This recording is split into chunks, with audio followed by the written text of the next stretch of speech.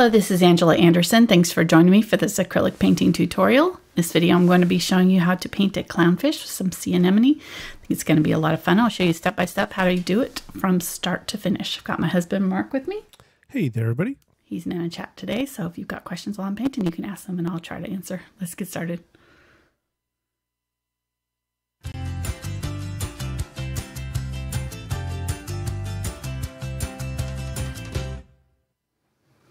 Alrighty, so I'm going to be using a 9 by 12 inch canvas today. This is the Dixie Cotton Canvas Board from Fredrix. Um, I have just coated it with a very light coat of quinacridone magenta. I squirted on um, a little bit of glazing medium, sprayed the whole thing with water, and then put a little bit, um, probably a thumb's worth of um, quinacridone magenta on there and just use a cloth to wipe it all on. So you can see it's it's very kind of transparent um, layer of quinacridone magenta. You could use like orange, yellow, any of these colors that we're using in our um, sea anemone would work as your background ground, but it'll just give us a head start on our painting to have it colored. Um, I'm going to be using just a few brushes um, today uh, from Princeton.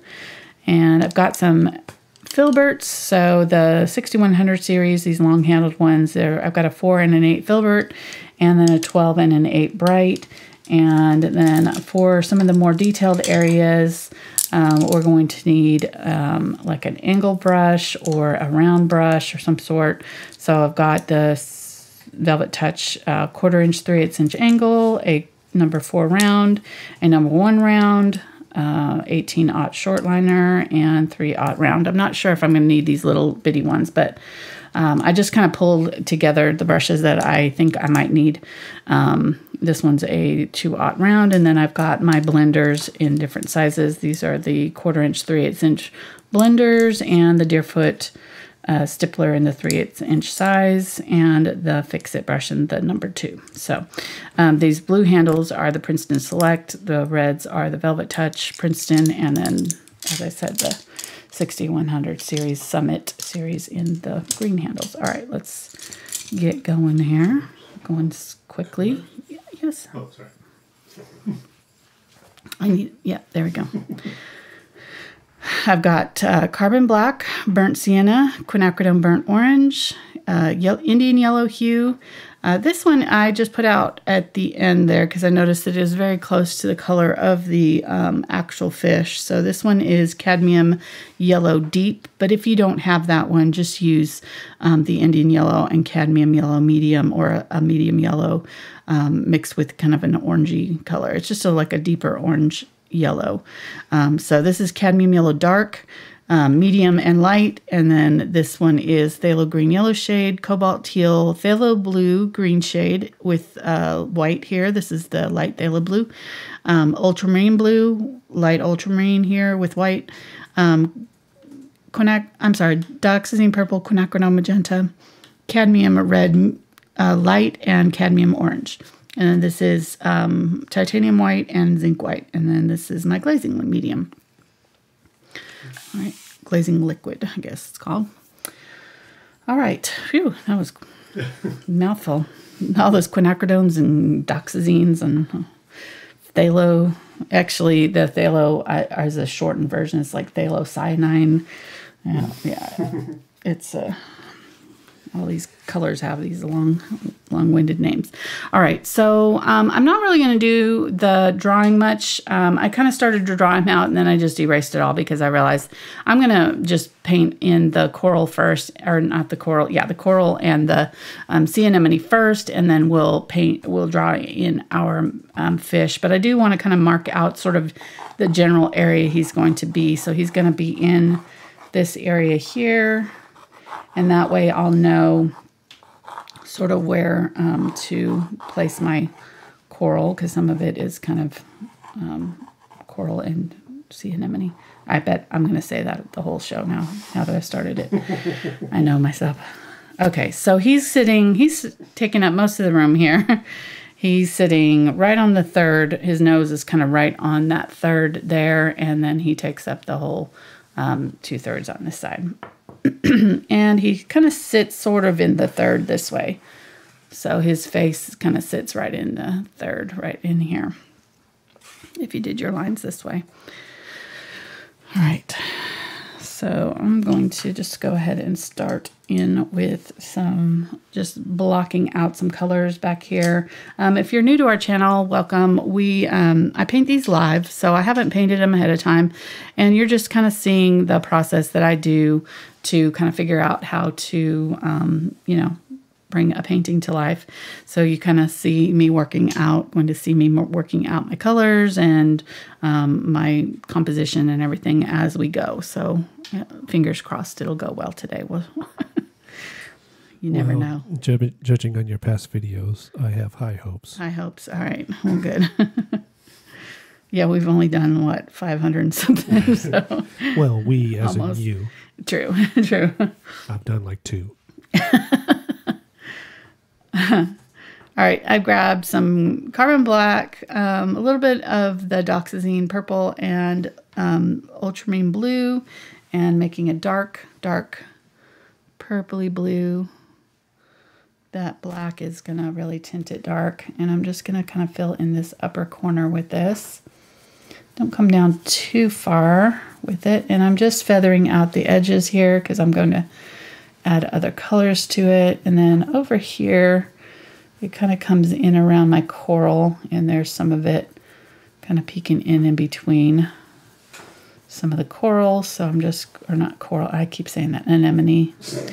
I, I know, I, I, okay, I I'll do this. Start I, anemone. Anemone. Mana, it's, mana. Not, it's not an anemone, it's anemone. Mana, mana. Okay, whatever. You're close enough. Ornament. Yeah. Yeah. It's going to be one of those. I can tell already. So it looked like an octopus swung by right now. What? I said it looked like an octopus that swung by right now with that black inky stuff. Ah. Okay. I follow you now. Sorry. You lost me for a minute. All right, adding a little bit more of the blue and um, purple here. I added a little bit of white right there, but I don't really like that. So I'm going to use this darker kind of bluish color up in this corner. And I haven't cleaned out my brush, so it's just kind of mixing with what I've got going on here already. And I'm just going to kind of fill in down. Now some of these um, anemone are going to come up over the top of it, so um, we don't have to worry about getting it going around them right now. All right, so that'll be our kind of start of our background there. And then let's just start working our way forward. So I'm going to get um, some of the light phthalo blue, maybe a little bit of the phthalo blue. And again, I haven't cleaned out my brush, so it's kind of mixing with it a little bit.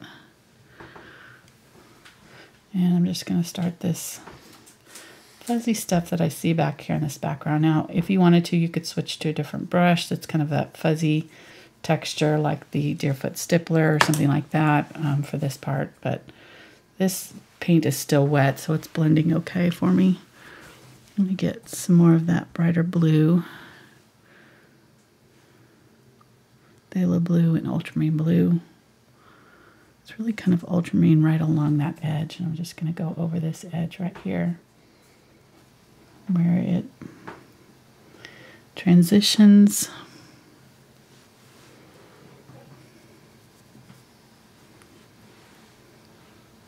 Okay, we have we have some people questioning the choice of nail polish color. Oh, well, yeah, it's it's a little bit bright for this. I was going to go with an orange, but tomorrow's video is the bonus video. Ah, so it's more and for so, tomorrow. Yeah, it's more for tomorrow. For the uh, Patreon people, right? Yeah. All right, grabbing a little bit of that. Let's get a little bit of the light ultramarine blue. I think I want to clean out this brush because it's kind of going on sort of muddy, and I think I want it more bright. It's not not that gray in this area, so I'm going to get a little bit more of that. Let's go ahead and get some of this cobalt teal. Start throwing some of that in here. And again, I'm just going to go right over the top of this fish. I'm not going to worry about it too much. Just adding these colors. Let's go ahead and add some over here. Get a little bit of that phthalo blue, mix that in. You can see that when I'm picking up my colors though, I'm not blending it straight up over into the color. I'm kind of taking it down onto a clean spot away from the color so that um, I don't pollute the the actual color there so I can go back to it and get more of it later. All right, there we go. So getting all this filled in here. There are some areas in here that are kind of that purplish color. So I'm going to get some of the purple in my light ultramarine blue and mix some of that and do that. You can leave some of this, the undertones showing through just a little bit here and there too if you want. But getting some purple going on here. Get some white, add that.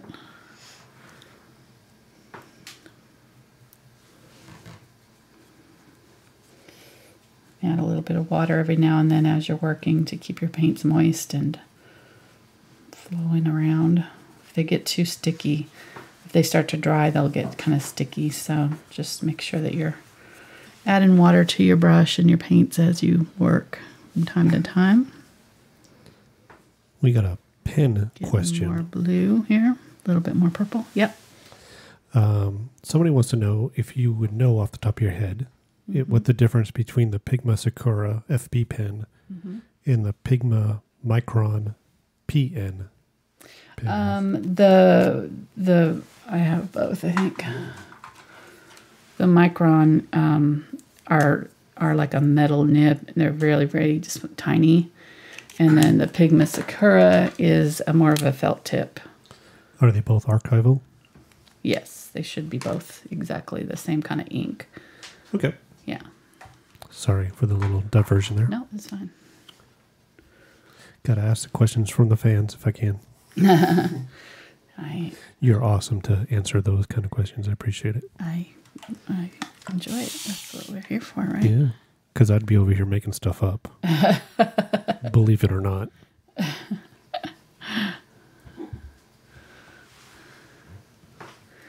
I, I, I do believe it, actually.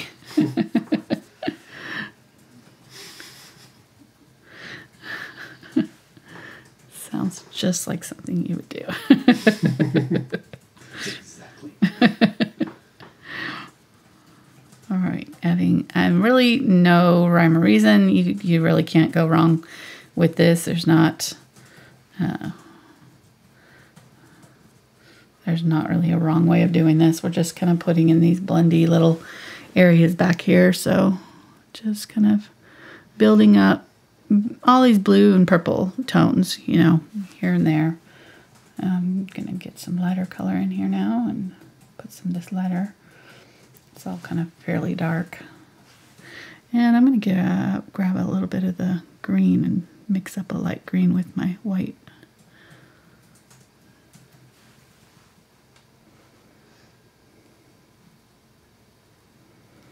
And just kind of using the rounded edge of that brush to create these little rounded shapes that I'm seeing in the background. So just kind of using it to build in these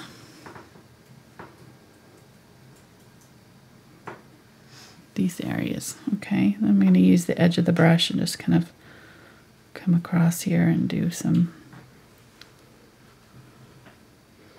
ledges and things.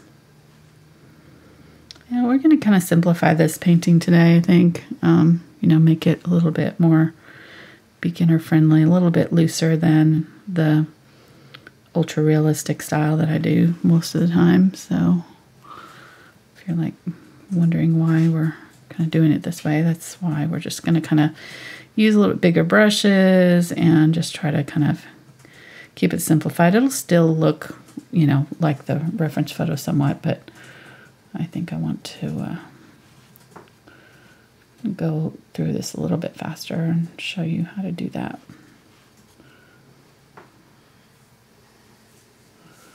Okay, so we're getting to the point now where our paints are going to start to get kind of dry and sticky, so we really won't be able to add any more um, new to them. This area is dry up here, though. I'm going to do one more layer of the light blue up there.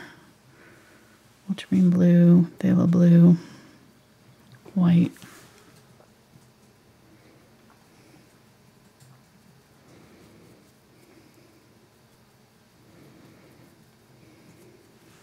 And then I'm going to get some of that background color, kind of blend over it a little bit.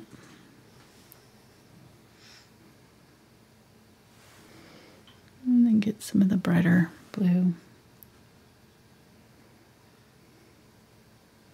This brush is really not great for what I'm trying to do here with the blending. So I'm going to get the Deerfoot Stippler here. I'm going to use that background color and just smudge off that top edge so it's a little bit softer and smudges into that background color. I'm going to do this in just even though it's going to be sea anemone later just to fill it in. Just blend it off. I haven't wet this brush down so it's dry and it's it's works best when it's dry for this kind of thing. So I'm going to get some white and some of that blue. And I'm going to go from the underside and blend up into that edge there. and I can feel that the paint is still kind of wet right here. It's trying to see how it's when I go over it, it's trying to lift off that paint. It's not like putting down new paint. That's because that area is trying to dry. So let me just put down a little thicker paint right there. And then I, I really can't do much. I'm not going to go over that area again. I'm just going to kind of leave it a little bit thicker.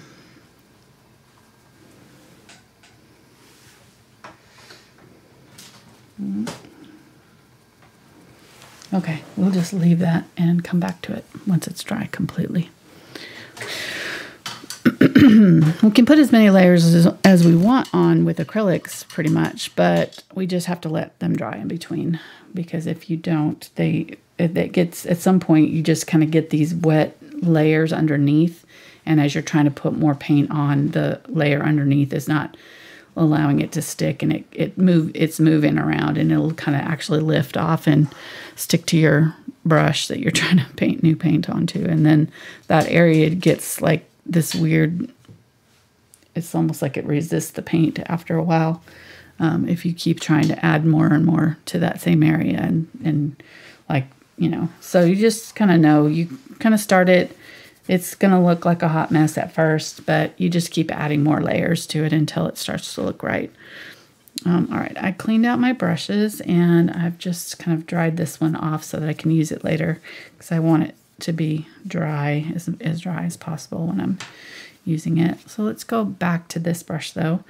And um, I'm going to do the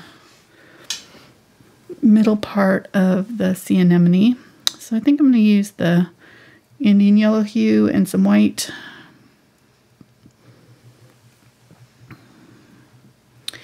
And might use just a touch of, of that light phthalo blue. Maybe a little bit of the magenta. Okay.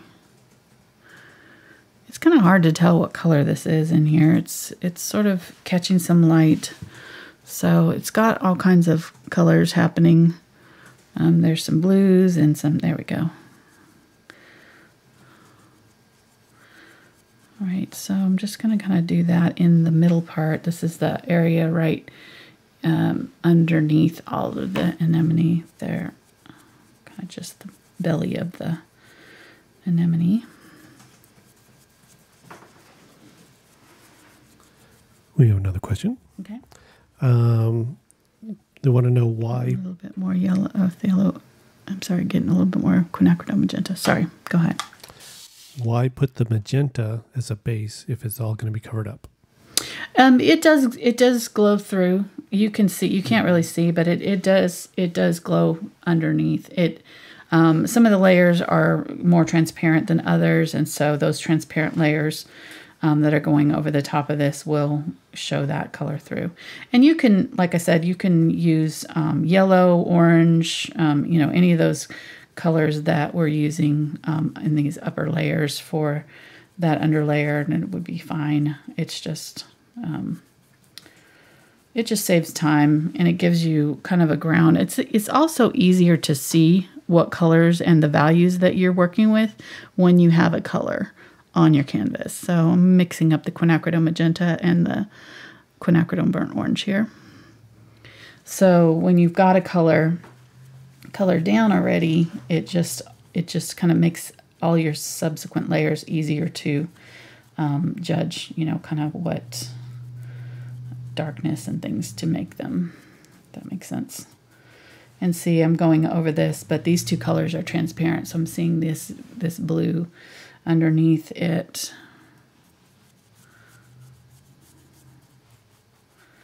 It's um, it's a pretty common. Most oil painters do it. Most you know. Um, in fact, it's if you you know look at how the you know Rembrandt and all of them um, did their paintings, they all always started with a canvas that was you know, either like a yellow ochre or some sort of brownish, sometimes blue, you know, just different um, tones. But they always, you know, would start with a ground base color and paint it over it. It's just kind of. And sometimes I don't do it, you know, sometimes I get lazy and I just kind of paint um, directly onto the white canvas. But if you have a color down, it just makes it less daunting to add more colors and things. Once they once it's already down, it's like you're not. It's like you the ice is already broken. You know, there's nothing pristine about it anymore. You're not like you know ruining your canvas or anything. Somehow, it psychologically too. It kind of helps you get past that first initial like fear of messing things up or something. You know, that's kind of innate in any painting that you're doing. It's kind of the normal sort of thought process that happens, you know. Because as soon as you start putting paint down, you know, whatever it is that you've got in your head that you're trying to paint, you know, it obviously doesn't look anything like my reference photo at this point. And and if you don't realize that your painting has to go through these kind of stages of, you know, ugliness or you know unfinishedness or whatever um, until it you know until they do get resolved um, then you know you can kind of panic or and you know you can end up starting to do things that you don't that you're not ready to do you know? So you know i could start trying to put my fish in at this point. I see a lot of new painters do that where they would you know start with the fish instead of starting at the back and working your way forward. Um, doing your underlayers is really, really important. Okay, getting, I'm just going back and using these same colors that I used before. So I'm sorry, I'm not saying exactly which ones, but it really doesn't honestly matter the, the color um, in this area. It's just kind of, I'm just trying to kind of pick out different colors to put in different places here some purple, put some of that back in. I'm switched to my Deerfoot Stippler though, so I can kind of blend them out a little bit easier.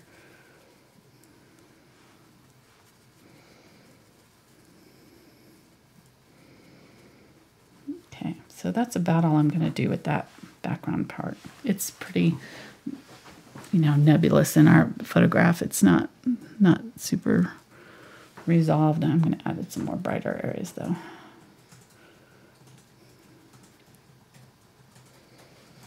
Just a few.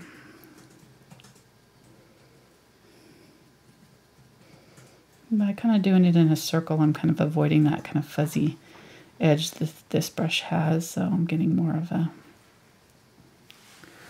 rounded look, almost like the bokeh effect that we're seeing in our photograph.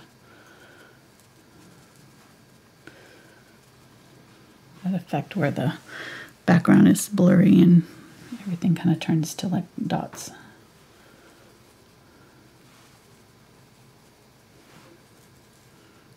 Okay. I've got some really bright blue area right in there, so I'm going to try to get some of that in there. Well, you got another question. Okay. Uh, the person says that it seems like their paint is sticky. Okay. So, any. Uh, just add more water to it. Okay. Um, yeah, and they they will get sticky, and you may be working with it while it's trying to dry too. You know, you may be overworking your areas and not letting them dry in between steps. So, because they'll get sticky, um, you know, if you keep working at them, like what happened up here when we were trying to add color to that area that was trying to dry. Um, so. And right now I'm just looking at making sure that I've got really light areas and really dark areas in back here because there's there's some, you know, areas that are there's if you don't have it it'll just be kind of like flat, you know. So by having these really dark areas and really light areas in here, we can kind of add some dimension to it. This area is a little bit more in focus, so it's kind of more like got a little bit more detail. So I'm going to go ahead and do the stippling on this side with this brush and just let those fibers spread out and create that kind of coral look. Like that. And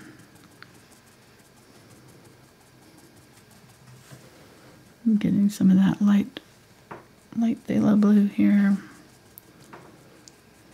And really I can't do much more with this until I do this background area because I've already got. Okay, that looks good. Pretty happy with that. Let's stop there.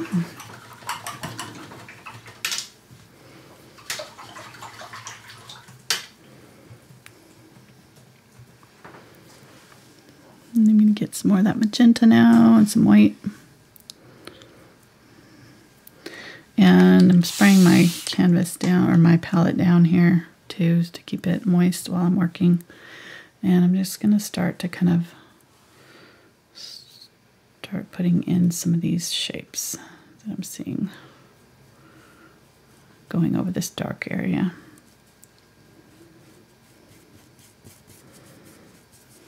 Those are going to take a couple coats to cover that dark up, so I want to go ahead and start doing that. And I'm just going to set my brush down and kind of let it create those shapes for me.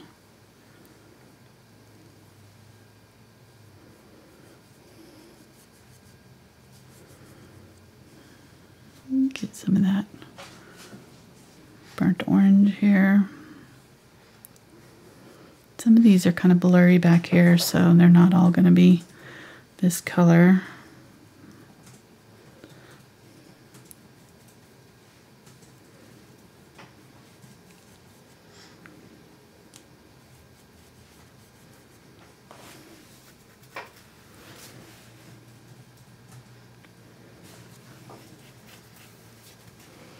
Getting some of the purple. Gonna go that purple and blue mixture that we had right here. Use some of that to do in between.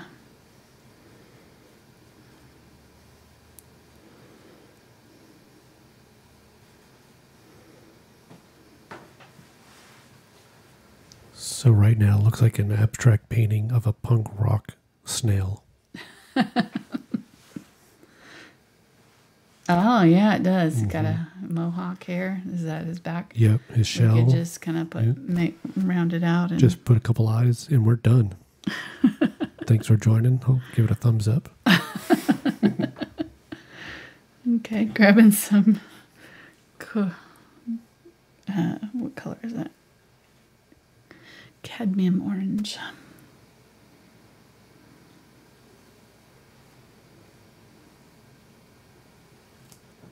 I hope everybody's doing great today. We're springtime here in the central part of the United States. Yeah. allergy season as it's known. Yeah, it is. It is bad this year. I I was checking out our seedlings out there, our tomato plants. Out, I'm adding just some more of the orange to this yellow color that we used before the Indian yellow color from down here. And um, yeah, so I was I was checking out my plants, and they all had this kind of these like little I don't know, it looked like white kind of spots in the all along them, but they were kind of long and they were in the veins, you know, like like the veins of the plants, and they have these like little long um, white spots in there, and I thought it was a disease or something, you know. So I was starting to freak out, like they're starting to get a, you know, some sort of thing in their baby. So we've already killed half of them from sun scald because we didn't harden them off before we set them outside. So that's we we've pretty much done everything you really shouldn't do um, this year with our plants. So we've tried to we've pretty much killed off most all of our our new first crop of baby plants. Anyhow, so we we we only started gardening like our garden the our current garden last year you know so we it had been several years since we've done it. So anyhow so going back to the the plant um getting a little bit more quinacridone magenta here. I'm just going between these oranges and magentas. There's really no rhyme or reason that much. Um, just kind of doing different tones.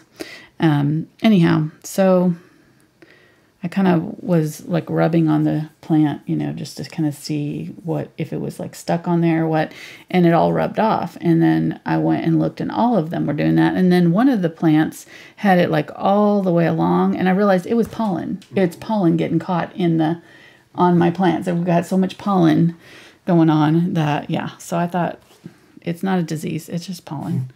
Thankfully. Uh, what brush are you using right now? This is the same one that we've been using, the eight filbert. Okay. Eight Yeah. filbert, Yeah. So We watched a video. There's a there's a couple in Central Arkansas here that has a YouTube channel, and we follow them because you know obviously they're in the same area, so we can get some good tips. And their video they put out yesterday was about hardening plants, which is about a week too late for yeah, us. So we're like, we're, we're going to do a video of what not to do. it's about Take everything that she said to do, and do the complete opposite, and that's what we did. that's what we did. That's exactly what we did. So here at the Anderson Horticultural Hospice, I'm telling you, I get so frustrated with us sometimes. but my potatoes are doing good. Yeah, I got to hill them, I think. I might, I might. Uh, you got what? I still need to hill them. I think. Hill them. Oh Yeah. yes. I thought I. I don't know which. I thought you said. It wasn't that.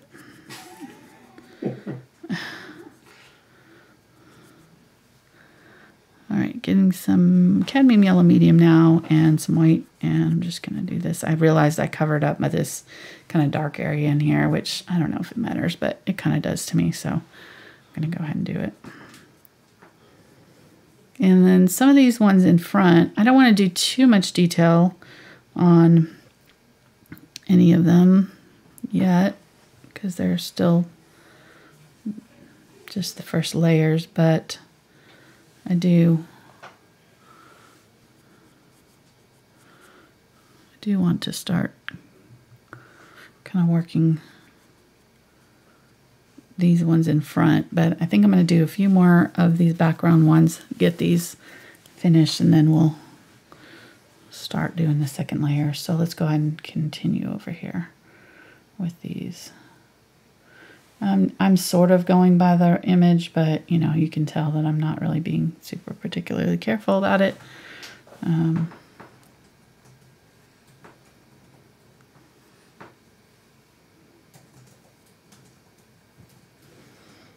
I'm going back through here and adding some second layers to some of these with this little bit more yellow color.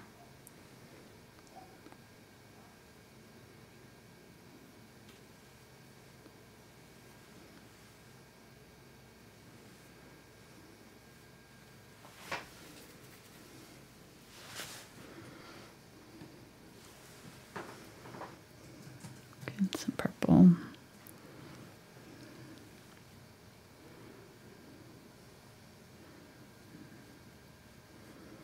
Just doing some like darker ones that are kind of faded out in the background there.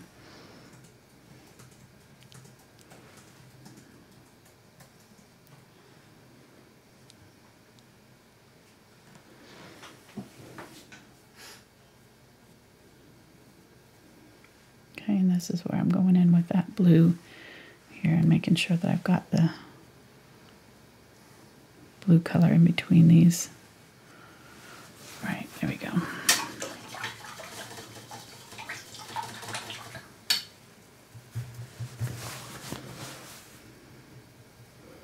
Every now and just cleaning off that brush when I'm going back to my yellows because I had purple in there and I didn't want to get that purple in my yellow. It would turn it kind of a brownish color, which I don't want. So let's get a little bit of the quinacridone burnt orange here with my orange. I got a little bit, started with a little bit of yellow too. And get a little bit of white. Maybe a little bit of the magenta. So I've got a couple different. So this one's like more of a um, salmon color. We use that over here.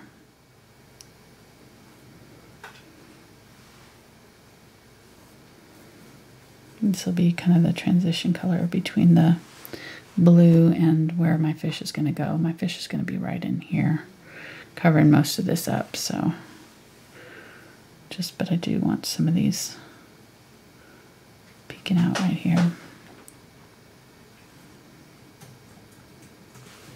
And I'm going to use a little bit brighter orange for some of them.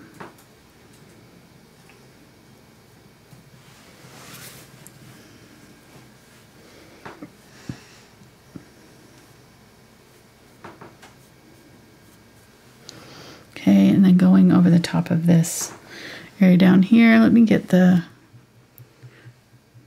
cadmium orange light here. Or, I'm sorry, cadmium red light. I'm going to do the ones down here in this area with that. And these are all very like blurry and things, so they're not super resolved. When I say resolved, I just mean like in focus and, you know, clearly lined out.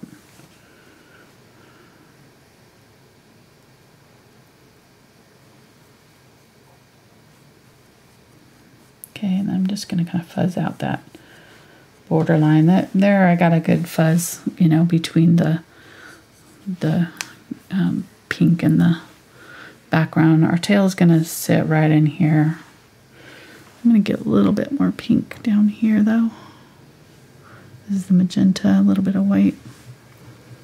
I'm just going to use a little bit of it down here and kind of carry this out. Just a little bit more right there into that corner. Okay, let's go ahead and use some of that in here.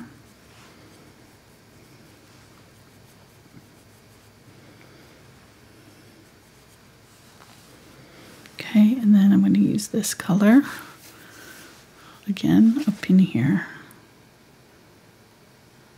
Just give these ones another layer now, now that they're dry.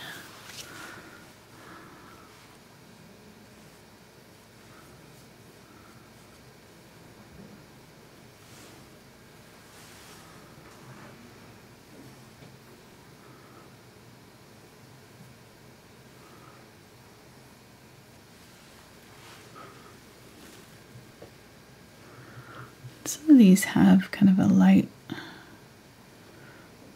outline, so I'm going to use the white and go along one side of them. Our light's coming from this direction in our photo. So the sides of these are getting lit up on some of them.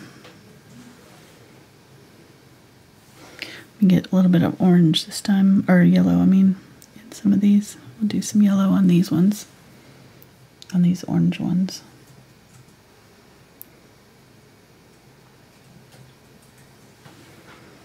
Get some of that orange, put that on as well.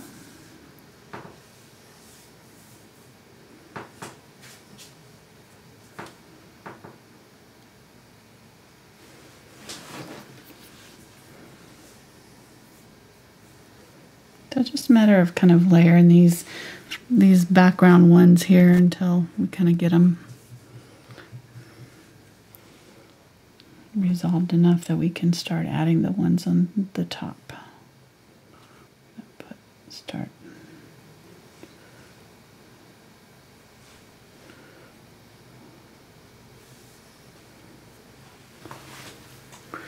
And they have all these beautiful oranges and yellows and pinks. So really you can't go wrong if you, as long as you kind of do some of these ones in the background a little bit more muted, like they're a little bit darker and they're probably darker than I have them here. So I probably need to add just a little bit more of the darker colors here.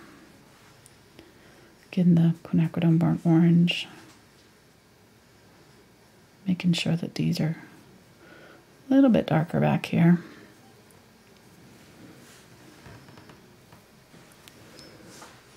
Again, the quinacridone magenta, maybe a little bit of purple even.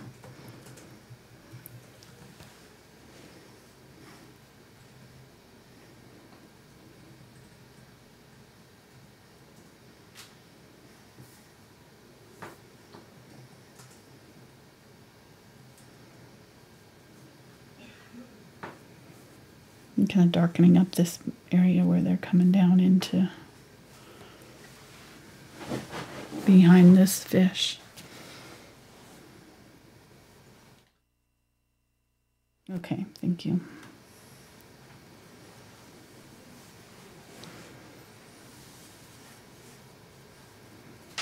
Told Mark to tell me when I'm getting close to an hour, so because I didn't want to spend more than an hour on the anemone here. So I think we're making decent time. All right, let's, so I've got this dark color now. I can start putting the lighter anemone on top. Gonna get some yellow and orange for this one.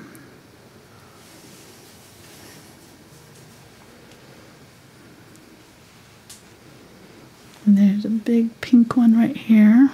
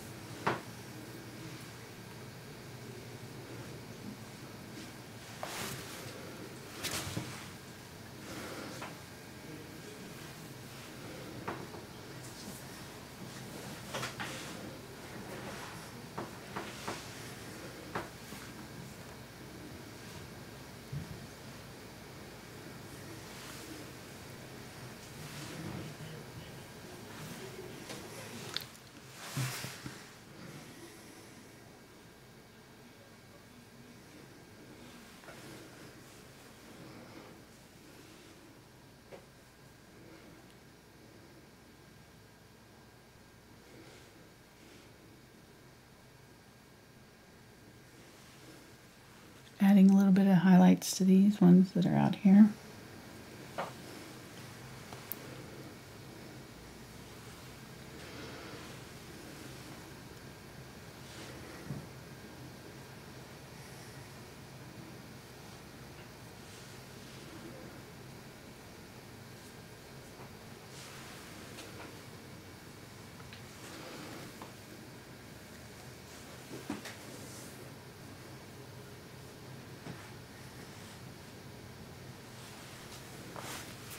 Okay.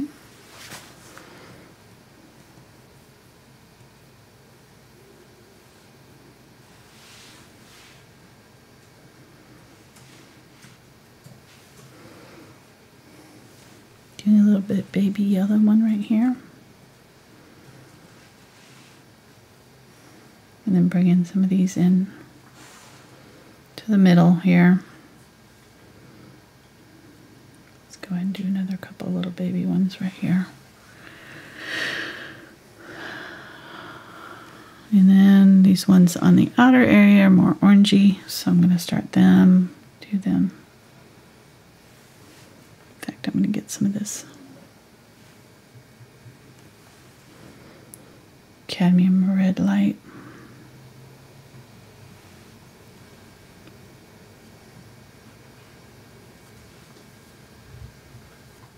So you started your your challenge image this week. We did. we did. We. It's going to be a long, long process. Realize how detailed it is. and we're painting a fishing village, and uh, here I'll show you the progress. Don't judge because it's definitely in the ugly stage. We just barely got the first layer on the, but we got all of this is going to be rocks. Lots of rocks all in here. Another big huge boat with lots of detail. More rocks down here. And then all these buildings and they have all kinds of stuff going on with them too so yeah. Lots of fun. Mm-hmm. it's gonna be it's gonna be a challenging one for sure that's uh that's why i named him that. I pick things that i haven't done usually you know so they're they're uh, seeing me work out, you know, details and things that uh, I, you know, those those paintings that we do for that for the patrons are are usually like you know, ten hours, eight hours, you know, long. So they're they're quite long and involved, and we do them over several weeks. So. Okay. Oh, I love how this is turning out. This is fun. I think the key is just to, um, you know, be going over these with multiple colors. And when I'm adding these new colors on, I'm just kind of barely kind of touching and, and swiping down so that they're not um, they're not overwhelming the the whole thing. It's just adding just a touch of color here and there. And I really need to be careful because these are overlapping now, so I have to make sure when I overlap that I have enough contrast with the ones below when I add my new color on. Go with a little bit more of the darker darker reds here.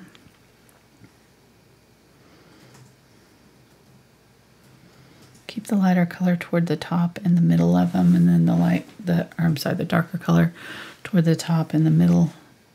No, sorry, let me go back. keep the darker color toward the bottom here, and the lighter color toward the top. And that way, when you overlap and do your next one, you've got that dark color underneath where the light tip is going to head. Our three main rules are I know. Dark on the bottom. I know. That I never, got my, I got confused of what I was saying. Never dying devotion to the Pope. Wait a minute. Four. Our four main rules yes. are. All right, we, we'll go out. Come we'll back. We'll go back.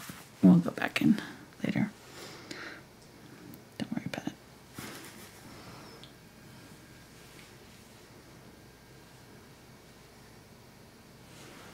And I don't think you, you used any of your glazing liquid yet, have you? No, I haven't.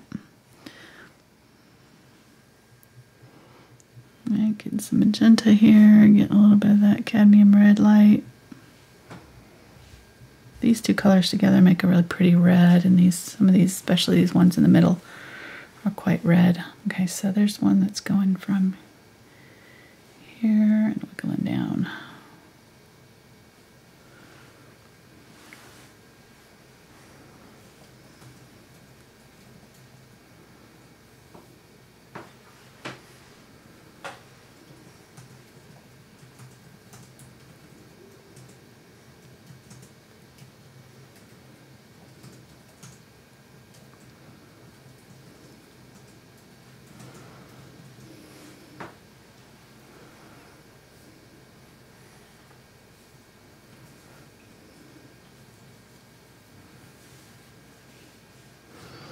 Do a few more in here. Get some yellow and orange.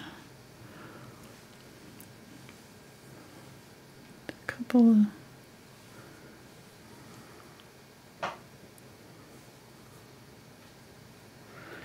honestly, at this point, they're all kind of blending.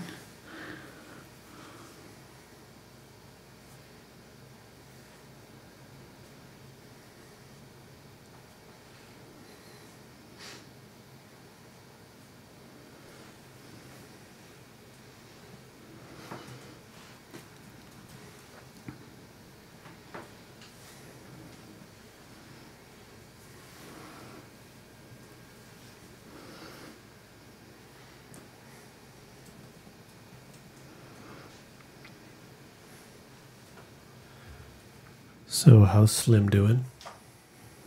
I don't know. Do you have pickle cam today? Uh, oh, that's right. He's passed out, isn't he? Yes, he's all curled up. Fitzpickle got all his hair chopped off last last week, and well, for his summer haircut, he's he was a shaggy boy, that's for sure. And he's he's just trying to get used to it. It's so funny because he he used to like lay out, and he used to get overheated, and you know just like lay out and spread out. And now he's like all curled up in a ball when he sleeps trying to maintain body heat because he's not used to But he likes to run. oh yeah. He's he's like the jumpy jumpy boy now. He's it's like it's like having new shoes that come on real fast okay I'm gonna do a couple that are just kind of coming up behind the fish here, and then we'll do these two are gonna be kind of in front of it, so I'm gonna start them, but we'll have to finish them later. Yeah, he's just all curled up there. What? He's just all curled up there. I know he's just he's all trying to maintain his body heat.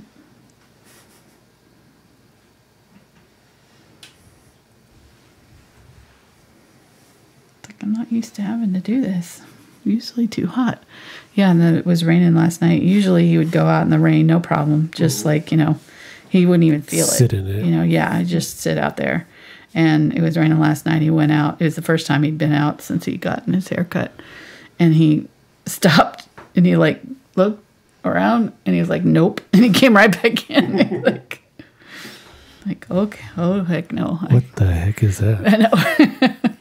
Some's touching me. That doesn't feel right. Yeah. I'm so used to not feeling anything. okay. I think I'm going to stop there because I'm kind of need to finish, do our fish, and then we'll do a few little last touches on our coral here. Um, let me have you take that, hun, and dry it for me real good. And while he's doing that, I'll show you how to draw your fish. I'm gonna I'm gonna just transfer mine on once we get it dry. But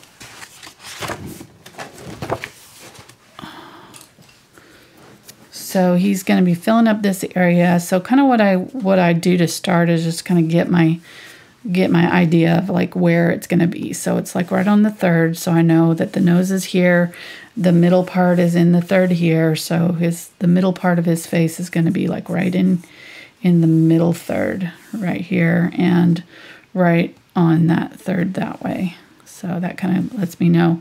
And then the tail is all the way out and to about right there. Okay, and then once I have that, I can kind of figure out, okay, his he's this wide and maybe like twice as long, you know, so kind of figure out the width and then, you know, check and make sure that the width and the tail are about the same. Um, two lengths, one width. Does that make sense? And then I'm going to kind of do my face. Has got this kind of squared off area right here where the eye is going to live. And then this eye kind of sticks out the side right there. Then rounds out, drops down. And then their fish shape, if I kind of do my tail here, somewhere in here, then from the from the tail it kind of curves up and out from the head it kind of comes there's like that little bump the eye bump right there and there's not a line right here necessarily well there is actually kind of one below that but kind of curves this way um, but whatever line that is, that's going to be your mouth line too. So make sure that you line your the bottom of your eyes up with your mouth. And it kind of curves down like that. His mouth is slightly open. And the lips are kind of flattened out where they come reach the edge of the fishy. So it's kind of flat lips there curves like that. Round out the chin. And then comes back, there's a bump, and then it kind of does this long round thing like that. And then the body is connected there, like that. Okay, so there's our basic body shape. And then the that first stripe kind of comes up around the eye and back down around under the chin right there. That's black. Then we've got another white line and they meet up kind of right up under the chin right here. A little bit darker there and then it starts to curve up for this fin here, curves back down, back out, and then it kind of does a long diagonal that matches the shape of this curve here, and then comes in pretty tight just before the tail. So like that. And then you've got their color that's going to be all in here. This is orange, little orange spot, and then the black around it white in here. And then on this side, you've got the same thing. You've got this big fin coming up behind. And then if you want to, you can kind of come down a diagonal to kind of meet up with that. So wherever this one comes down, it's going to meet up with this. This curves back there. This one is a little bit smaller than this one, so I made it maybe a little bit too big. It's probably a little smaller than this. Somewhere like that. And then there's another little one right here, probably just from the back side. There's just like a slight, slight indication of something. And then the the white curve here comes out and curves in like that and this. And this is all black up and through here. Black. Out all the way to here. And then right in here, there's the little fin. And it is like this little wing shape right here. Okay, so there's our fishy, and we've got a a round eye that's dark in here. Like that. Okay. Can I, like I said, I'm just going to quickly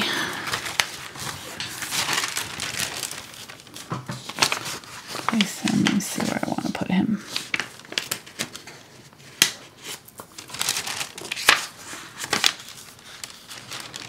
All right, there is about right, I think. Trying to see where I've got my. That's good. Oop. Don't get paint on that.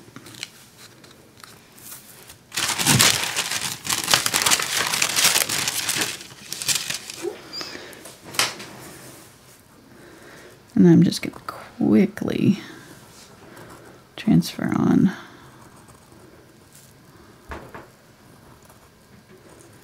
While you do that, I'll, shape. I'll talk about Patreon. Okay. So patreon.com slash Angela Fine Art. You can find traceables over there. At the time of this video, it's at the $2 level. And that's the traceables do all the videos back to February 2017. So you can download as many as you want, as many times as you want at that. Yeah. Then the $5 level is the traceables plus there's a bonus video, which we'll be doing tomorrow. And excuse me. And uh, I think tomorrow's video is a vase of flowers. Yes. But also, you get access to all the previous bonus videos too. So it's not just that one. And again, as much as you want to watch them. And then the $10 level is all that plus the uh, special Facebook group and the Thursday shows. and the them. Thursday challenge, which she showed earlier, which this month is this the uh, seascape there. So, yeah, they get their own private video that they Right. get to watch on Thursdays. So and don't have to listen to me. That's the key. so that one's a little bit more. That's ten dollars. yeah, you have to pay extra for no mark. Right. Except for he does kind of lurk and, Sometimes I'll lurk in chat. and chat and, and throw me ridiculous questions. I can't But- remember what you were asking yesterday. The other day. Sometimes we have people that will come into the videos here on YouTube, and one of their first questions is, "Is this oils or acrylic?" oh yeah, that's what you were asking me. and not to be rude, but in the title of each video, she puts acrylic yes. painting. So Very true. there's there's that. but anyway, there's all kinds of fun things to going on over there too. So Yeah, and it support the channel, yeah, exactly. and we thank you. I think there's what 3,500 Something some like odd that. People right now, so we really appreciate it. Yes. Incredible. And a reminder that Patreon Keeps is our videos free YouTube. Right. And uh, so Patreon is a monthly subscription, so it goes from the first of the month to the end of the month. So depending on when you're watching this video, keep that in mind. I think I got them all in there. Yes. Alrighty. Let's go ahead and start on our fishy. So I'm going to switch down to a smaller brush for this. I'm going to get my 3 8 inch angle. I'm going to spray my paints because they're starting to get dry. And first thing I need to do is just re reintroduce the yellow in here because it's pretty dark. So I'm going to use the cadmium yellow light and my white and fill in his little forehead right here where it's the brightest with that. And this went over the top of his face, so I'm just going to paint over it. For now, we'll put it back in later.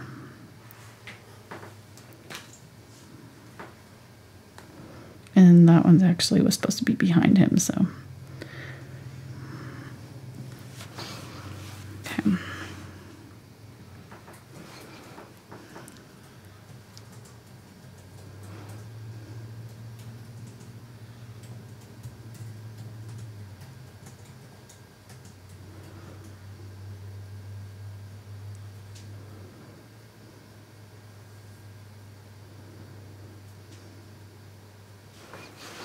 That'll just help me have a little bit more of that yellow color to play against when I add my orange on top of it.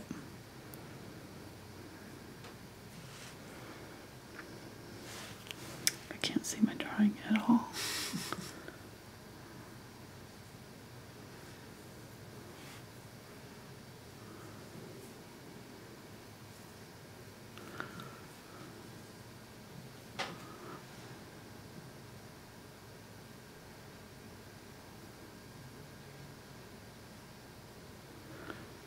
Go somewhere in here.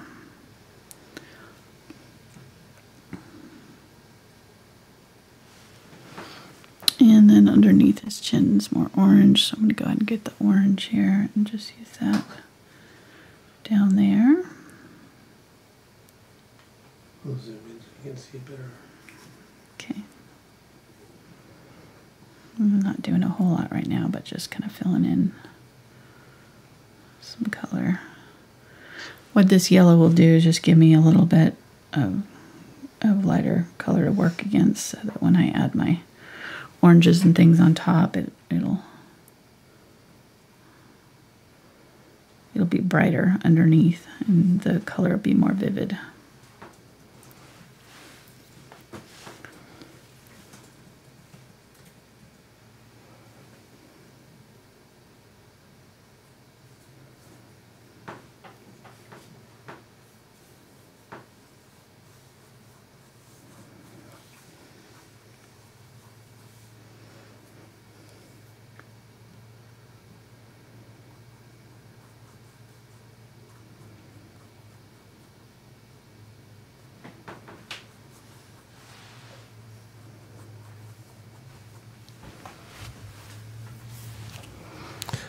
Like I should be doing play by play here. She's using an angly brush, painting on some yellowy color, adding some orangey color now. Yes.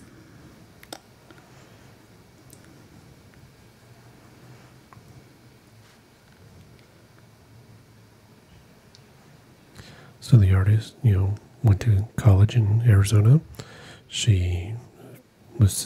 Was has been self-taught, been painting for the last thirty-five years. Oh, did you see what she just did there? Amazing. we should see that on replay.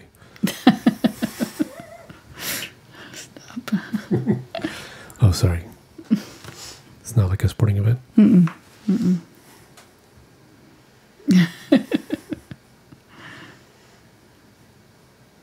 She's dabbled with other painting mediums before. Not really. Well, you've you've done gouache. Yeah, gouache a little bit. I like like two paintings so far. Two incredible paintings. And then uh, watercolors. I bought myself a bunch of watercolors during COVID, thinking that I would, you know, start something new. I don't know. Last year I was just like in Since a, you were going to have to work from mood. home.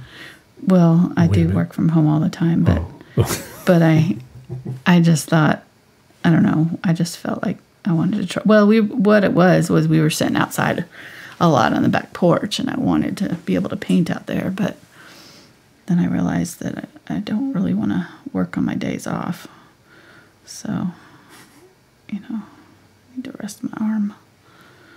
Using a little bit of that orange cadmium red light there, and then I'm just gonna use the yellow orangey color. That yellow had dried, so I'm just kind of adding my second coat here, making it a little bit more yellow. The bottom of the fish is going to be that cadmium red light, and then the medium, the medium orange is going to be that orange, that orange with a little bit of yellow in it, and then these bright areas on the face are really pretty yellow, like this color, this cadmium yellow deep. But it's actually, um, now that I'm seeing it, it really is kind of almost the cadmium yellow light. I'm gonna put another layer of that on there with some white.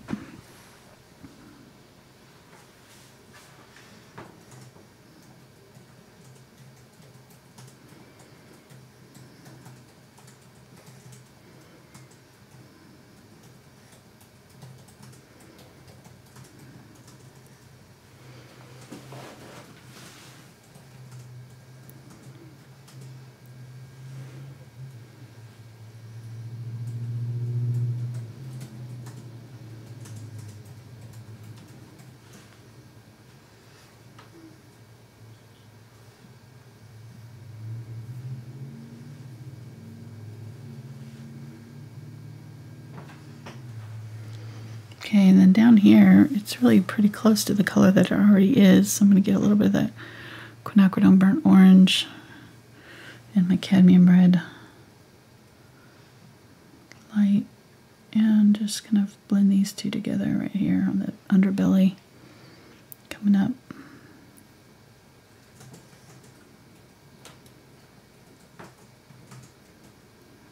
And then do some more of it on this one.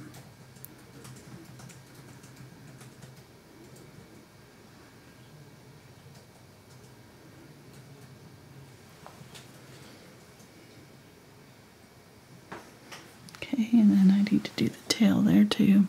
Get some of that yellow.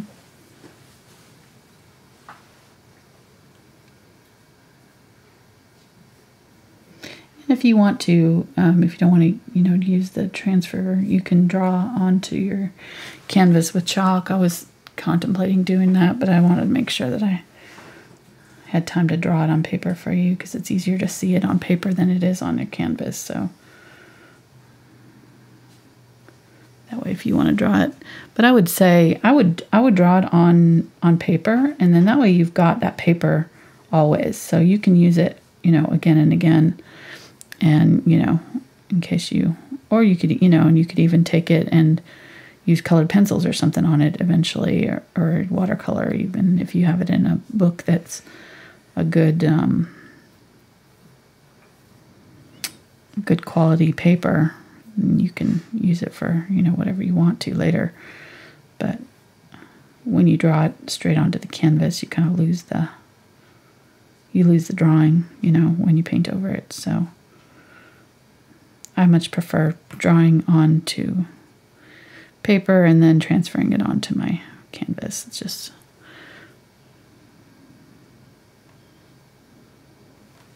I think it's better get better results. All right, let's do now. His white parts are not actually white. If you look at them really closely, they're really blue. So it's reflecting the blue around him, I guess. So I'm to use the blue. But they probably are white if you pull them out of the water, but because of the reflections in the water and whatever, it's he's white picks up the colors around it. So his white is turning blue here, which gives him a really cool look. And his black areas are blue too. So he's probably an aquarium fish, maybe. I don't know. Maybe he's got some blue lights or some ultraviolet lights or something shining on him. I don't know. I remember at the aquarium in Atlanta, it was a very big draw for all the kids. The, the that exhibit with the clownfish in it. Mm-hmm. Yeah, it's so they're so fun to watch. Yeah, I was looking at different photos, but I really liked the colors in this one. I just I really like the orange and blue contrast between the orange and blue because they're opposite on the color wheels, and so this is just a really vibrant, um, vibrant contrast to have him with all this blue.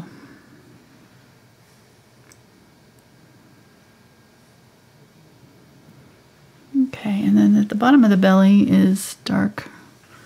I'm gonna get a little bit of purple, a little bit. My ultramarine blue is gone. Get a little bit more of that.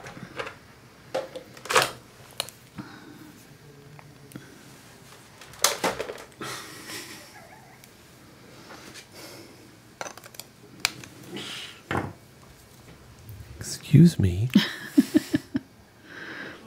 Monitor's messing up my paint. Your paints are banging the monitor. Mm-hmm. Well, you moved it in the way of my paints. They're always where they're at.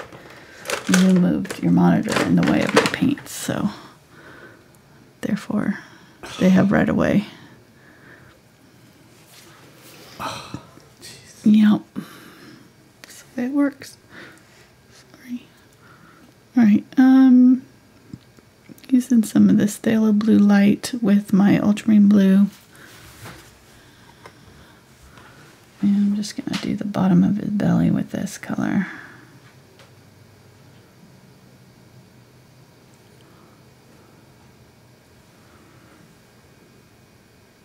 I didn't.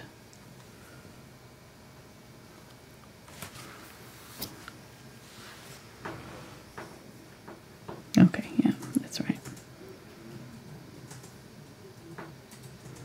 And I'm just kind of tapping to get the them to blend. He's got the scales, so he's not he's not a smooth bodied, you know, individual. He's got scales and things happening so we can kind of let the paint be a little bit more mottled where it goes on. Whoop.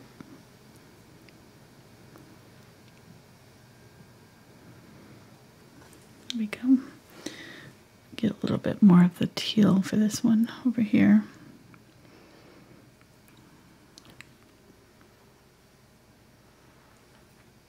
Yeah, I think I'm going to use some of this teal.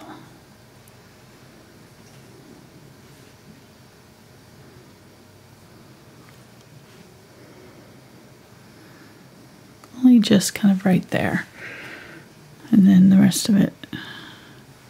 And this one is actually pretty light, so I'm going to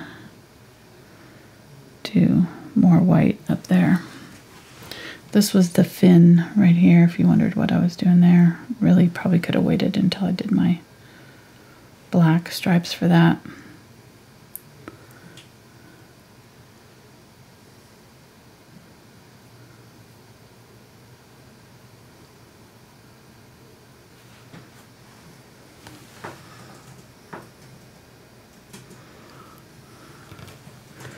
Get some teal,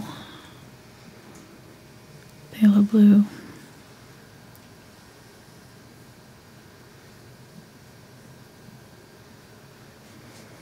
My paints are getting sticky, so I just need to spray them.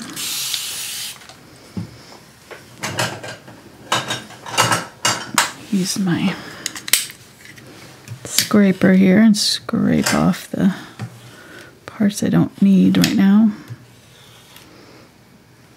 Mm, it's not wet enough to save.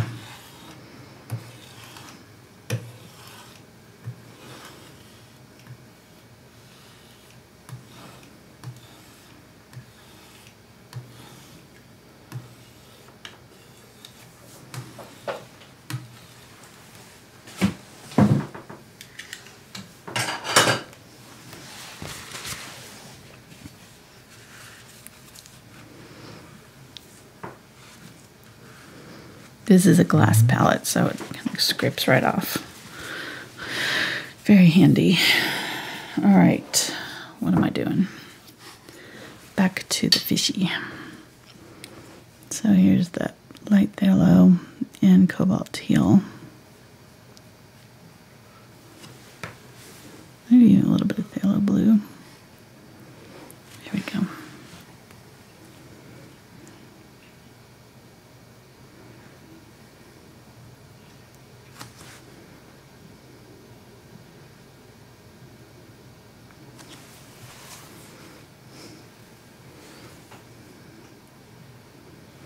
Adding some white here.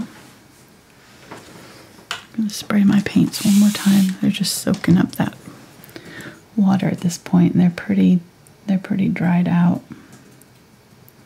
So they're going to be a little bit thicker. Somebody was asking about that earlier, so just add water to rejuvenate them. As long as they're not dry to where they're leaving, you know, like little clumps and things, they're they can be wetted down again and rejuvenated. So the light color on top. We just need another second coat on this one now. It's dry.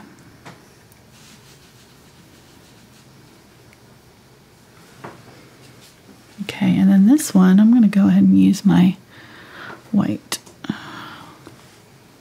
It's pretty bright.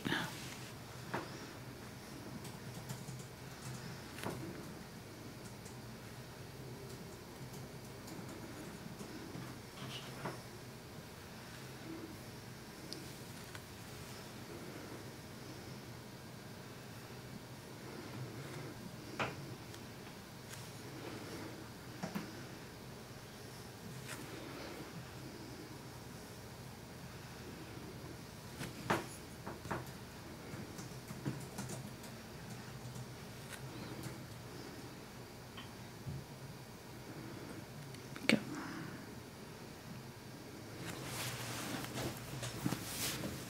Once we get that black on there, it'll be really like ta-da. I'm gonna put a little bit of this light blue on the back of his tail right here around this outside of the black. Just a little bit of a fuzz of it might be from the photograph or the whatever, but I was, I was seeing a little bit of something around his tail there in the photo, so hopefully it's there. I don't know.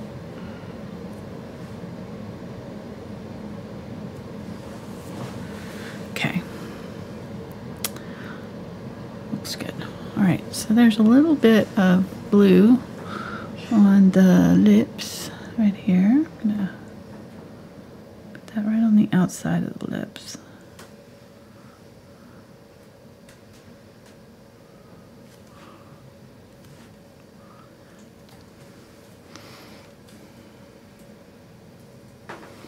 And then I'm going to do another layer of my of my oranges. Get that cadmium red meaty red light here. And add it right there. Add some right in here.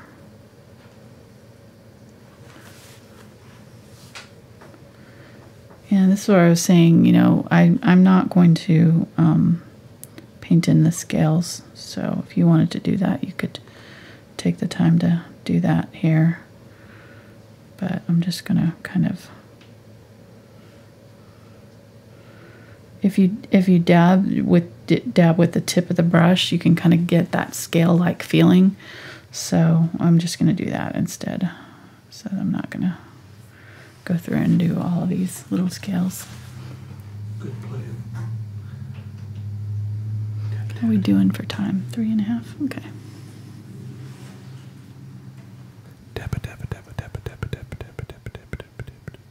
Since it does make E sound, I'm helping make it more Thanks. realistic.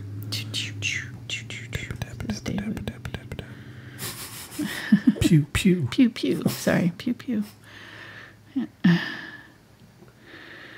right, getting the yellow deep or dark cadmium yellow dark and the cadmium orange here. And kind of put in that red, you know, kind of sloppy there, but we're cleaning it up here.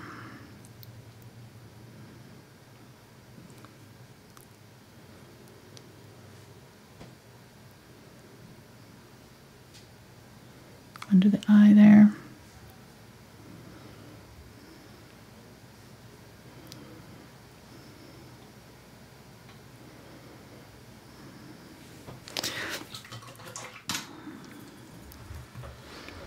It's a little bit right up at the top, right there where that black is.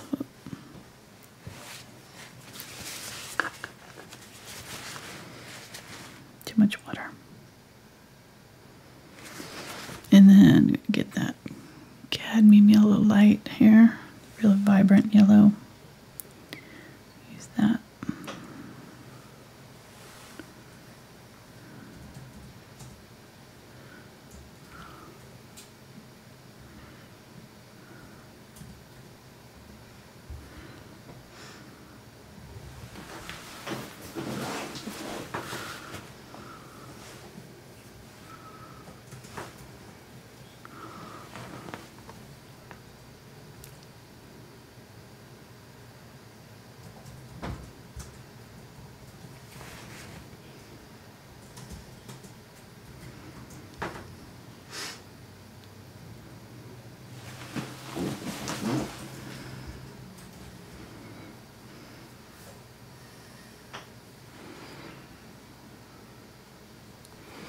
Let's do the get that cadmium red light here. I'm gonna use it in the middle for the mouth there, opening.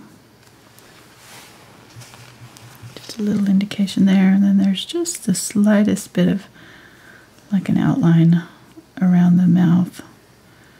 Just the slightest little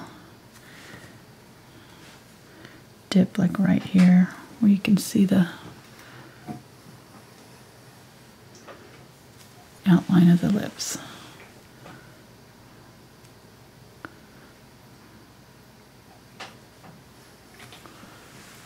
Go. I'm going to use that really dark red right up underneath the eye, right there.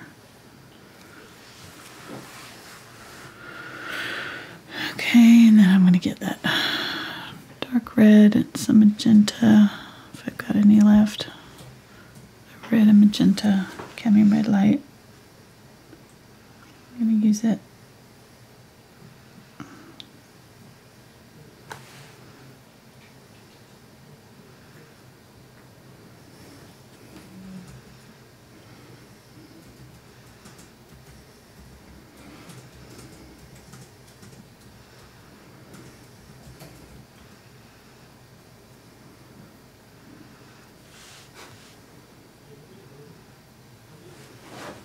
Okay. Then let's get the orangey yellow. This is that cadmium yellow dark.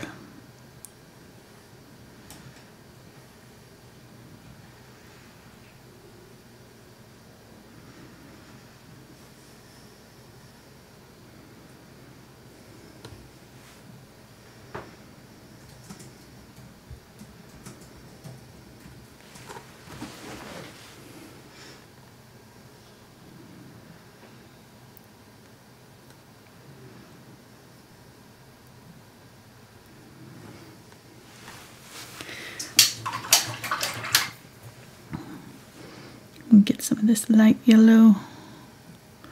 Get some cadmium yellow, medium and light, both. Maybe a little touch of white just to make it a little bit more opaque. If you're using a yellow that's translucent um, or transparent, you're going to need to add white to your yellow to make this work. Otherwise, it won't show up at all over top of the darker colors. Okay, there, and then a little bit right there.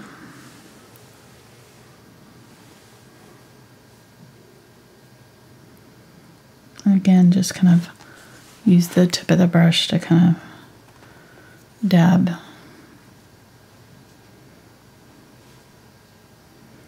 Scale like that.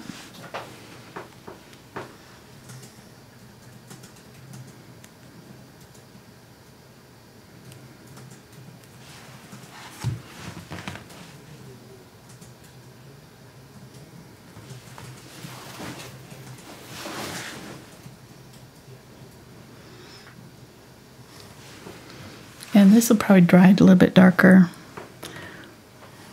I'm going to get a little bit of the orange. This area is more kind of orange than yellow, right in the middle here. So I'm going to use that to kind of fill in this area again. It may take three coats to get that background covered. So just kind of know that going in. That's pretty normal. It's not it's not going to cover on the first layer because these layers, these colors are so light, these oranges.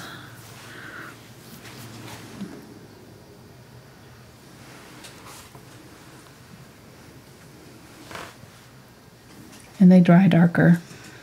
So, you know, they may look just right when you put it on and then it ends up drying darker. so you may have to do it two or three times or go on with it a little bit lighter than you think you need and then it might dry just the right color. Know. All right, let's go ahead and add our black. I'm going to switch to a smaller brush here. I think I'm going to use the round number four for this.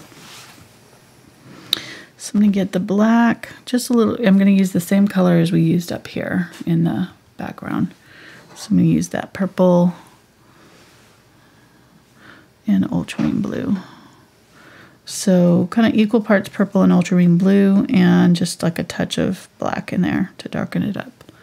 Purple's already like the darkest color. The Dioxazine purple is the, like the darkest color on your palette. So it, it, you know, you can't really, as far as the, you know, value goes, it's pretty darn dark.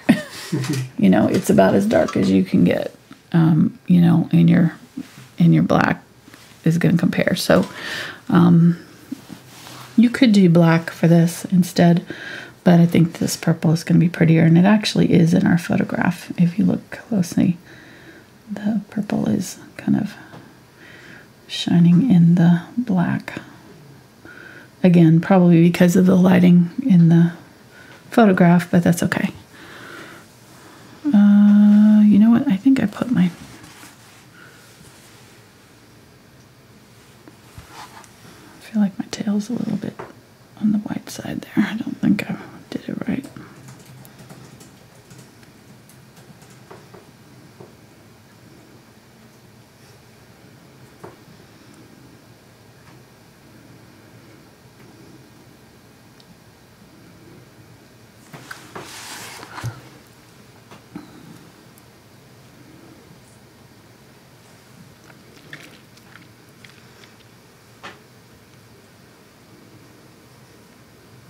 Yeah.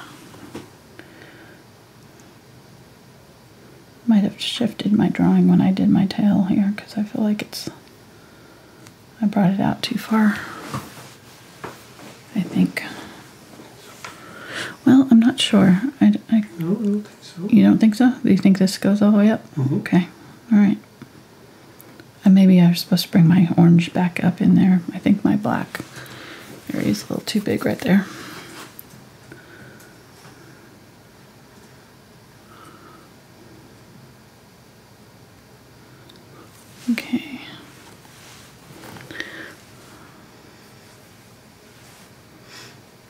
Add enough water to it to that it flows off pretty easily for you.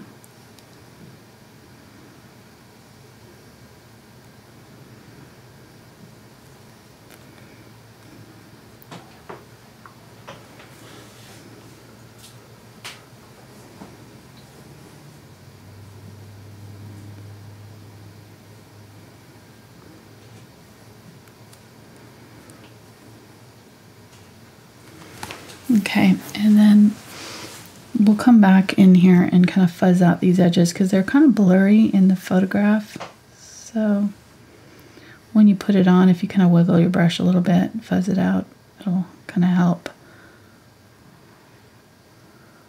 I'm gonna kind of go over the edges of the other colors that way, and then I'm gonna go back in with my orange at the very end and fuzz out all these edges and that will make it look kind of blurry the way it is in our photo.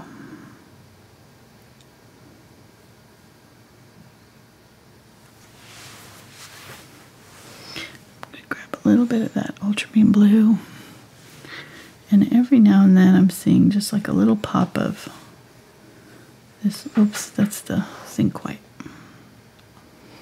Every now and then I'm seeing like a little pop of this light blue. So I'm going to put that.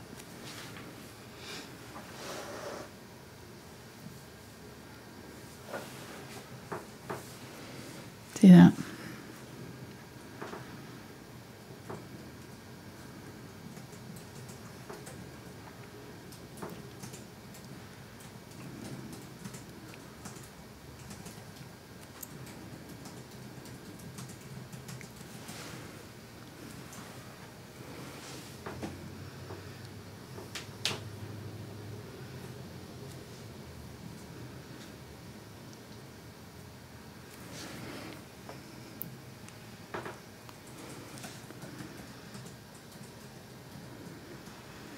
Using that teal that's in the tail there. So somebody had asked if this would wind up in a in our grandchild's room. Mm, I said, well, right now he's into dinosaurs, I know. so I think I know a upcoming painting subject for you Yeah. I do or to think of series. I've had that suggested before.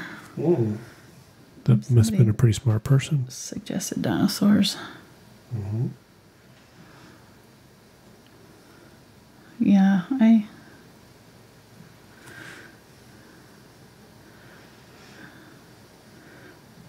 I found one that was the only problem with dinosaurs is there's no photographs of them. What? so you're having to use other people's um, artworks of you know the dinosaurs to do them. So there's that that can be tricky. I'm not an expert. Are you sure there's no pictures? Pretty sure. Pretty sure.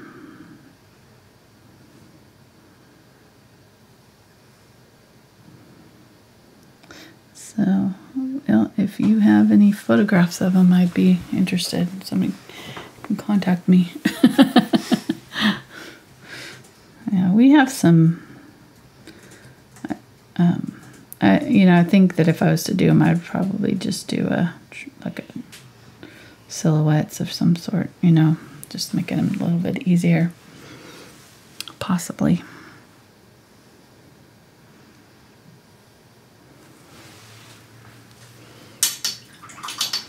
Isn't that fun? All right, I'm going to use this color as a glaze while I'm thinking about it. I'm seeing a little area right here where I want to glaze. That shadow right there.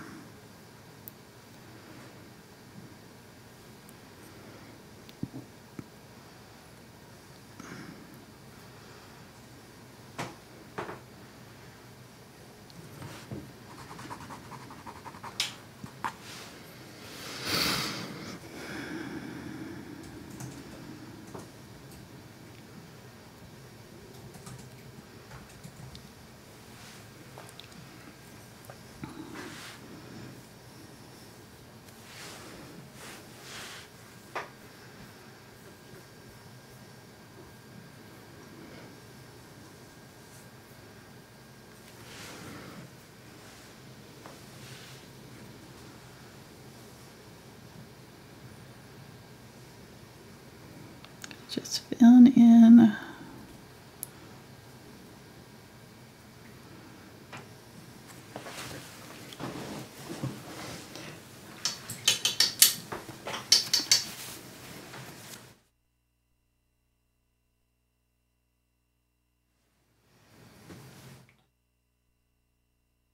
What? What is happening? Was it like that on Tuesday? My Tuesday video is very low numbers. I think it's because of the the pandemic uh, wear down of everybody, and the weather's nice, Mm-hmm. and it's spring, Yeah. so Yeah, I need to bring that out a little bit right there.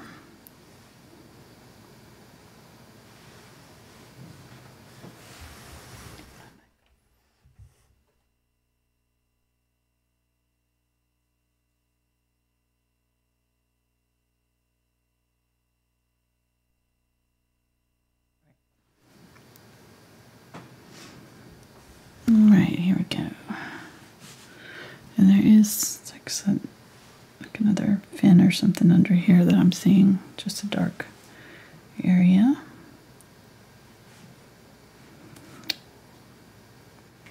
This is the fun part for me because then you start to it starts to see looks like something, you know. so can can you explain the use of the glazing liquid? Yes, um, that will thin out the paint so that you can um, put a little transparent um, color on. It just, if you didn't use the glazing medium, the and just used water, um, the color is um, well. These the heavy body acrylics have more binder than like your craft acrylics or things that you know where you can add as much water as you want with craft acrylics but with heavy body acrylics you have to kind of be aware of how much water you're adding to them and so the glazing medium allows me to thin out these paints to a very transparent um, thin color and that way I can go as thin as I want with the with the paint and put a transparent layer on. If that makes sense. I don't know if I explained that right, but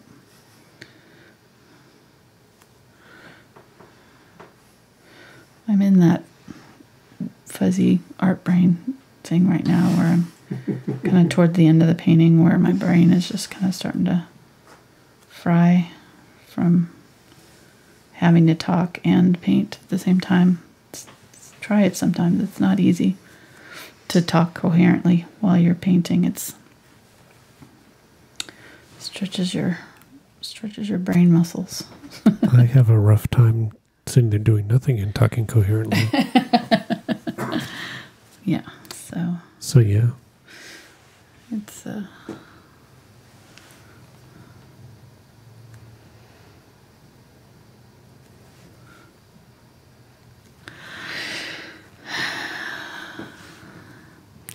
and which brush is this?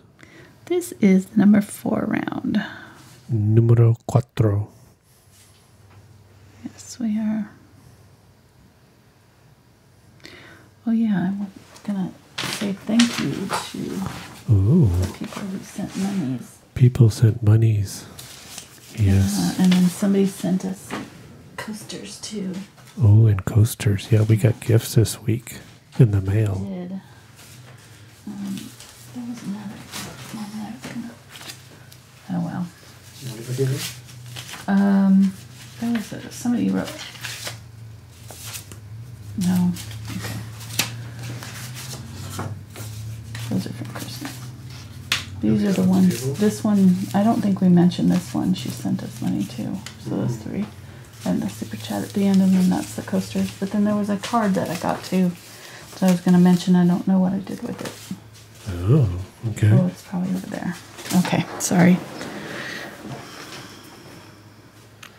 So we got a card and and money from Mary. Yes. Thank you for the wonderful card. It doesn't smell like chocolate, but it's okay. it's all right. Very cool card. And then we got a card and money from Marcia. If I remember correctly. Oh, it's stuck. It should say on the end, outside Yeah, of it. Marcia, yeah. There. And You could say their last names, I think. I don't think they would care. Then we got a card and money from Brenda. So thank you very much. Yes. Incredible. I know. So sweet. You guys are amazing. Very, very sweet. Really nice cards, too. Maybe We're tear up a little bit. sitting, sitting on the back porch enjoying the evening. It had rained, so it was nice and clean and clear. And, hmm and opening the cards that we got in the mail was just, you know, it's cool. a, it is very moving. So hmm I appreciate you guys sending mail. I I will. I have not responded to any mail since like before Christmas, so I'm really, really, really behind on that. So if you've sent me something and I haven't replied yet, I'm sorry. I will. I will be replying. I just. I, I really have no excuse. I've just been taking. I've been lazy about it. And so somebody's asked how do you send mail. If you click the uh, show more, or might be a down arrow or a like little caret thing, depending on what device you're using, you can see a list of all of the painting supplies and links to the brush guys and Amazon to buy things. And keep on scrolling on down. You see the social media, Patreon, and then there's our mailing address. It's a PO box. So you can send PO Box 12171, yes. Russellville 72812, Russellville, Arkansas Yep. 72812, And it's AR for Arkansas. not AK. Right, that's Alaska. Right. So anyways, you know, and if it doesn't fit in our little PO box, they'll they they have larger boxes, so you can send really big boxes of chocolate And they'll, they'll and it, it'll fit. Yeah, It'll yeah, yeah. don't worry. You know, it doesn't have to be like little small ones. you just watch. Somebody's going to send you. I'm using black hair and I'm using that purple around the mm-hmm. outside, but I'm going to use the black hair for the actual people just to make it really dark. And then on this side, there's just a little hint of the eyeball peeking over, but it's very kind of translucent. So I'm going to go ahead and use this bluish color with my white and you do that with that. So yeah, when we first got the PO box, and then it renewed or something like Use that, it here too. and the post office didn't renew it or something, and then they No, sent they, sent return Yeah. stuff to people with our home address on it. Right. Right. it's like uh, the whole reason why we use a PO box is so we don't give out our personal home address. so why did you do that? Well, because the post office guy, I, I asked him how to have our P.O. box because I, you know, I didn't want to have to go pick up the mail at the post office. I wanted it to come to the house if Oh, possible. right, and they right. told me to do a change of address on it. And I'm like, okay. You know, like to And- forward it to our address right here. to forward Yeah. it to our house. So what that did was cancel out our our PO box. So not only yeah did they return the mail, they uh, they sent people our personal email or personal address home address. Yeah, I was not happy with that dude. and I went back in and complained, and he was there too. Yeah. so he yeah. was there. I don't know that he remembered, you know, that it was him that told me that a year before, but um, I did. All right, here's the green orange here. I'm just gonna do a little orange highlight in the eye. They they actually don't have a like a highlight in their eye, which kind of is like creepy looking, but that's just how it is. So they're you know. That's just the way it is. Oh, Okay. this. So I'm going with orange here, and I'm just going to go over the edges of some of this black. What? This one is definitely getting lasers. That's all I know. Laser eyes. Oh yeah. Just look at the look in his face. He does have laser eye look. They, they all, I think all fish look a little bit pissed about something. You know, they they just look a little bit mad at the world. Not really sure why.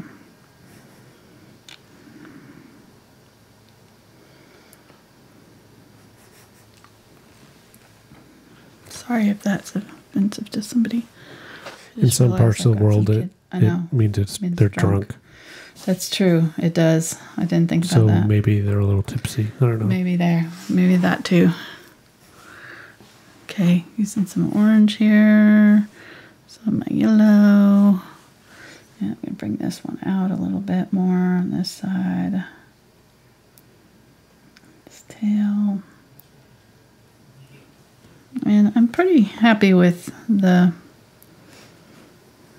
the look overall. We got him pretty close.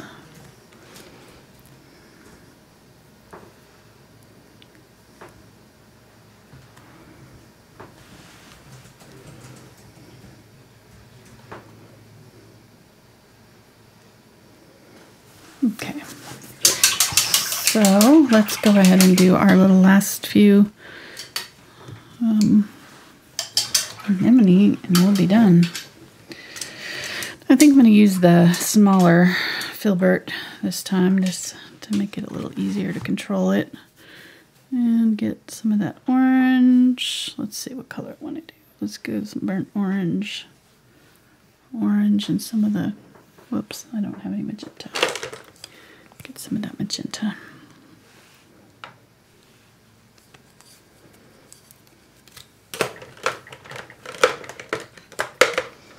To do that kind of bright orangey red. And this one goes all the way up here. Well, we kind of placed it just about right, right there.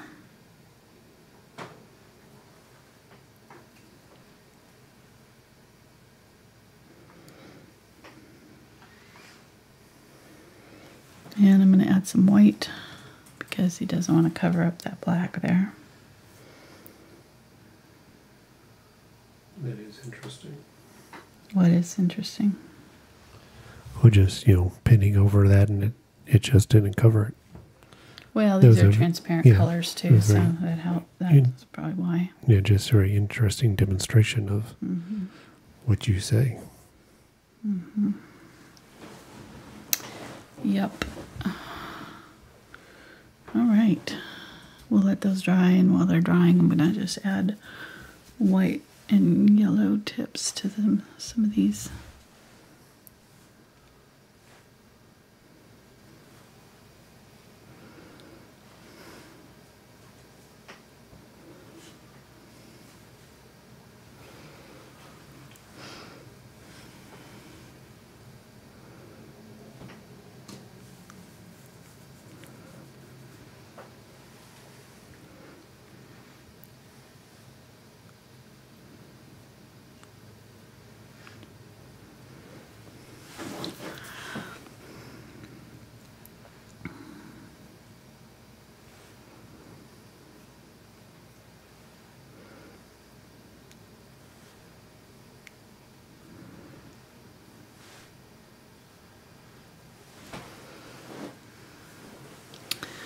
Fun stuff.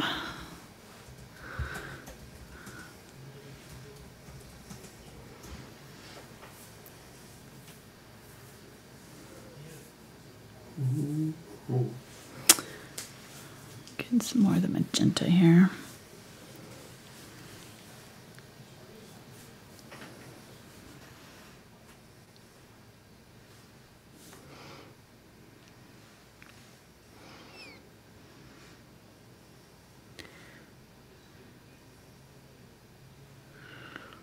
I feel like I'm missing one in here somewhere. There's probably one right here. Let's just do a small one right here. So, what level are we putting this painting at? Um, I would not put it at like a beginner beginner. huh? I wouldn't put it at a beginner beginner. No, I don't think it's a it's a first time beginner for sure. But I do think that it's I mean it's just got a lot of small if you've got good brush control then you know I think that it's definitely doable. It's mm-hmm. it's it's got a lot of detail in the fish mostly. This part I don't think are too difficult, you know. I think these are pretty pretty easy. For the most part, I think the hardest part is just getting the layering down, you know, cuz the layering can be a little bit tricky. So, I would say like around a four out of 10. Yeah, something like that. A three Four or 5, you know. Ooh, well, four to five. So, maybe like a 4.1739. Right. Okay. Is that pi? No, no, honey, that is not pi. What is pi? Well, we passed pi day. and- 3.19 or Close. 3.14. Yeah, there you go. I knew it. I just had to think about it. Okay. Maybe it's pi in the art world. Just, just saying. I don't know. You, you artists are kind of strange. True. I mean, like in engineering, like we say it's the red wire, not the phthalo quinacridone red shade wire. All right, I'm going to switch to this blender here and use it to do the tips of these.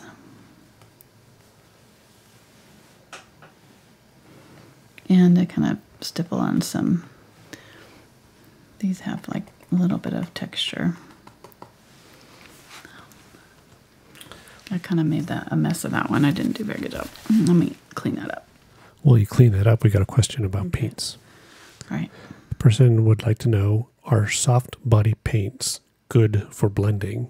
Are and are they easier to use than the like the heavy body paints? Um, they are easier to put to. They flow better, but um, as far as like blending things, I actually think that the heavy body acrylics give you more time to blend because I think the softer body paints tend to dry faster. So, um, you know, if that's a concern, I would I would go with the heavier body paints. You can always thin them down. So, you know, you can take a heavy body paint and just thin it down.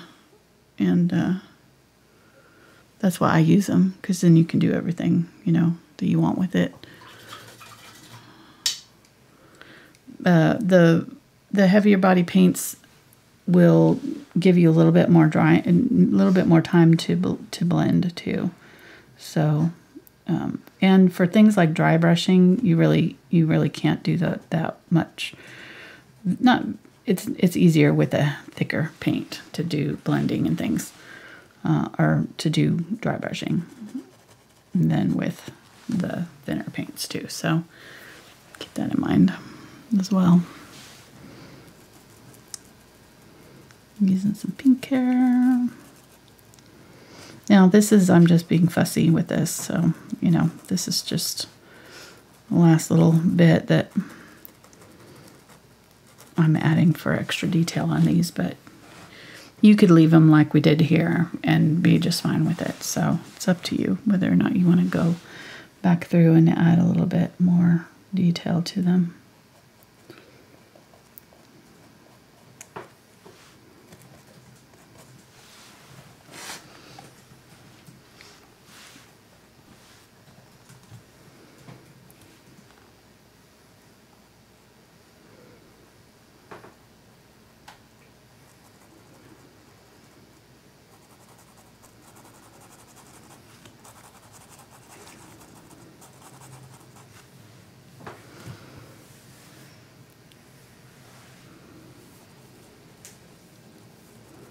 It still doesn't want to cover that spot. it's really not. Hmm. Not covering. There we go. Get some of that cadmium orange there that's more opaque. And then I'm going to use a little bit of the blue and purple. Use that down here to darken up this side of it.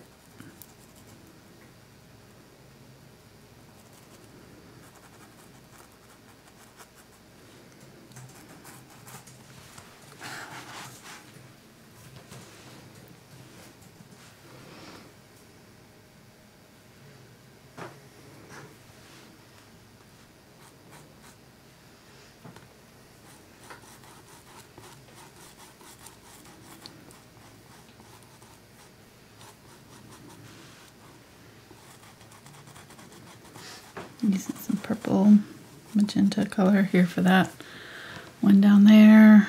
And then there's some of it on some of these too down at the very base.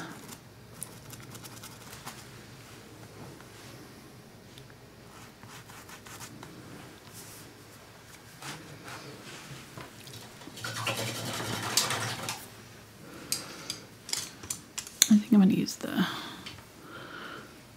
no, I'll use this one. I don't want to dirty up another brush. Use the 3 8 inch angle here. I'm just going to get that color on the very tip of my brush. I'm going to use this magenta and yellow color that I was using before. And just go through here and dab it on the tips of these.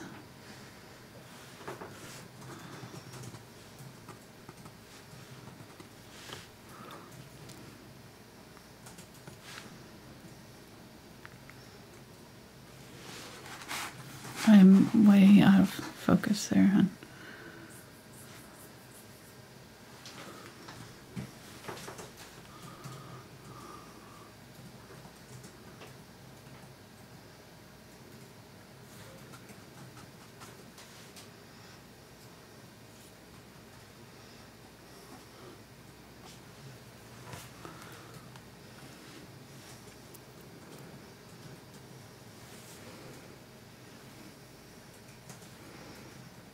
Use some yellow on some of them, the yellow and white. The white helps it be more opaque.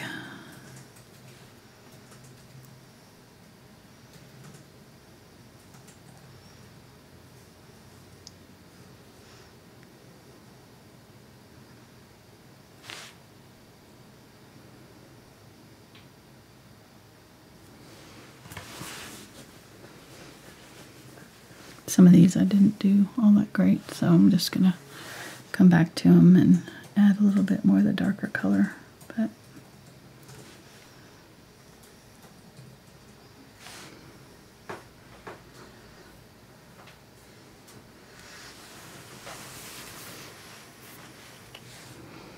How we doing on time?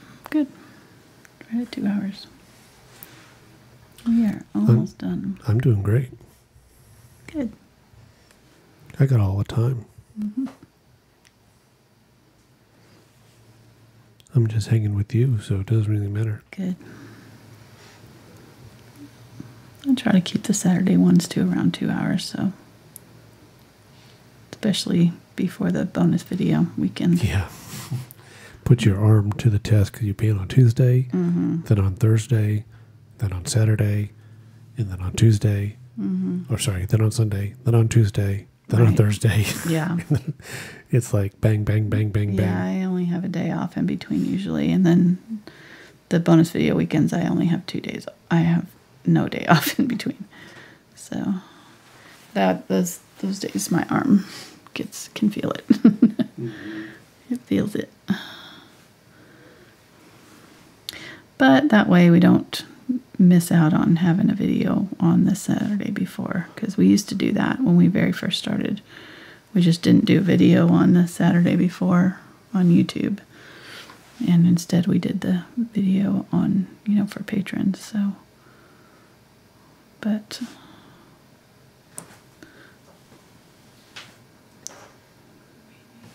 now we do it on a separate day.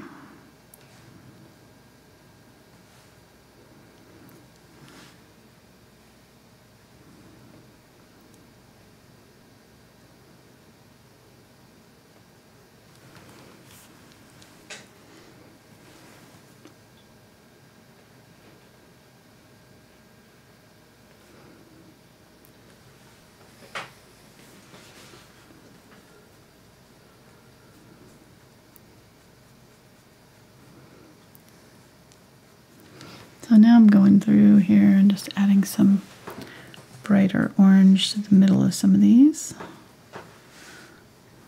That's going to make them look like they're glowing. And a translucent look.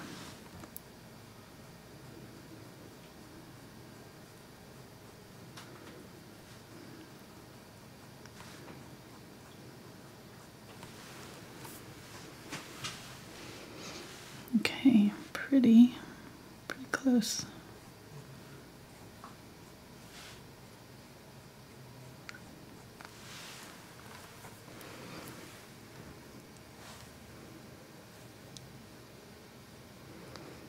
A little bit of the magenta here with some white. Highlight these ones in the back.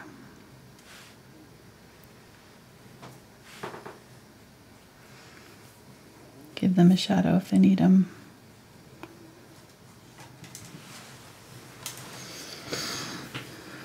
Mm, The the anemone are not not true to the photo. I kind of fudged them, so they're a little bit off from the photo, but close. I think they'll be okay with that. I think I think we're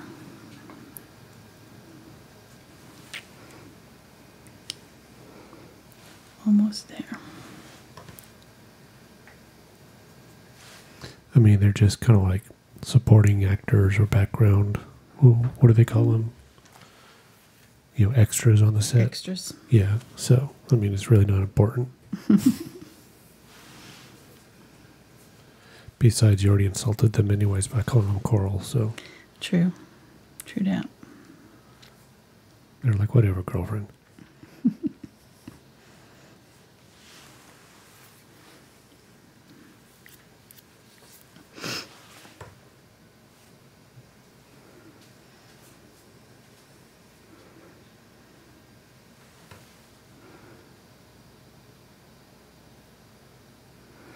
This is where I was going to use the zinc white.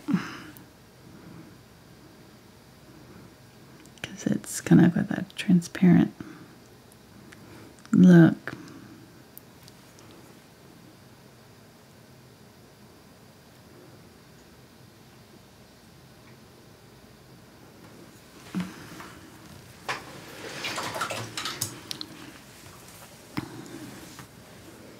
switch back down to the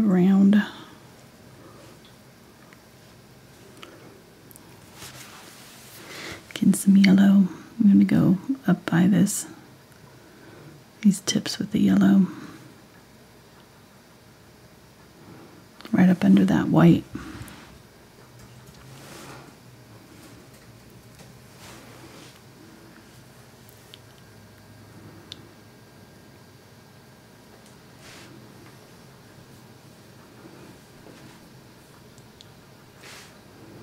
just to blend it in to the body of the anemone.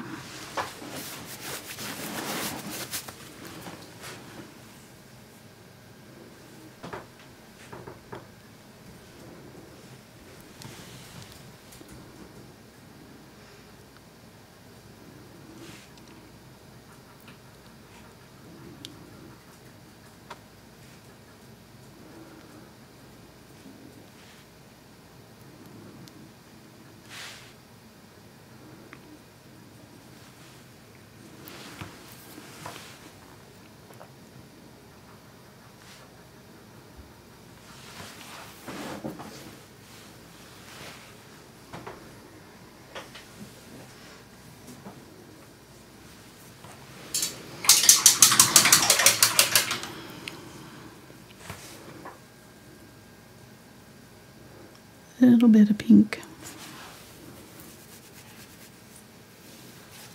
A little bit of that magenta with my white here. I'm just going to go real bright.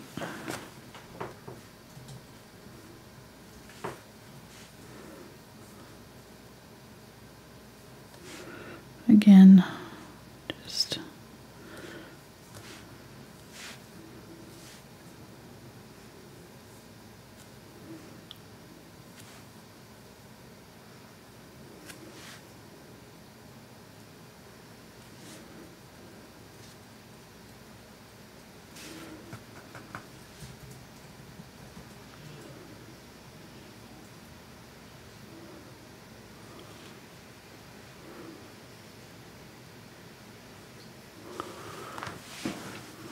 use a little bit of it to kind of make the outside of it glow.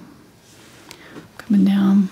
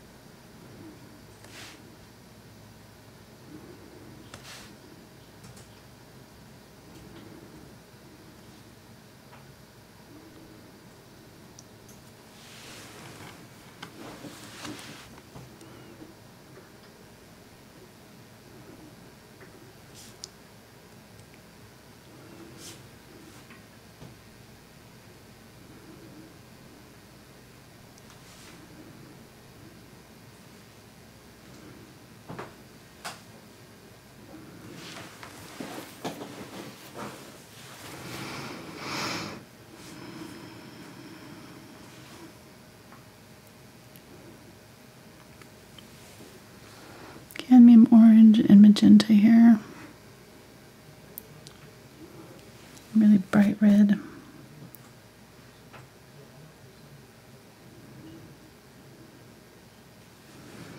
And honestly, you can stop at any point that you're happy with yours, so you know you don't have to do all of this. I'm just kind of adding little bits to mine here. What are you laughing at? Well, like you you said, you know, they can stop anytime they want to. Mm-hmm. And, you know, all these little strokes and the different tones and different colors are just giving you that more realistic, Right. layered look. Right. Yeah. Yes.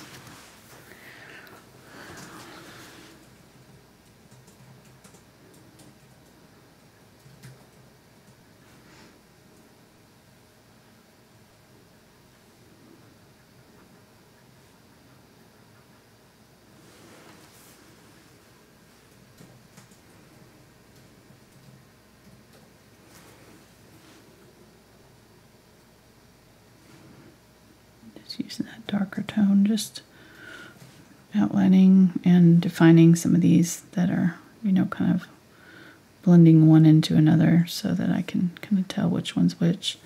Some of them you don't really care, you know, some of these ones in the back, or it's not that important, but some of these ones that are our focal point ones in the in the front here, I want I want them to have a little bit more um, attention.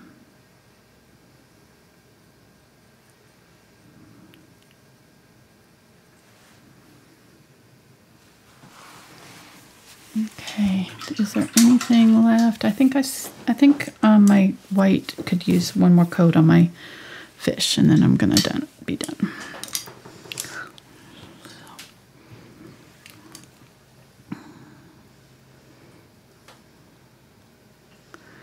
And I'm going to use a little bit more of the teal, phthalo blue in a couple places here. I'm seeing.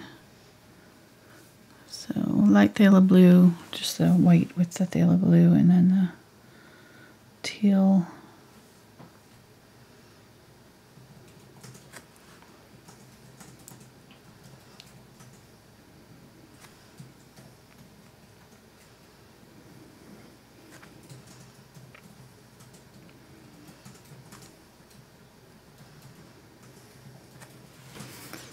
Get my white. Using more of the white up here.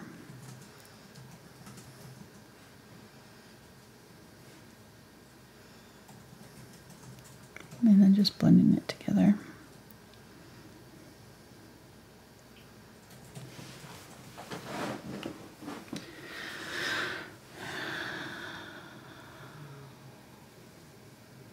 A little bit more of the teal color up here.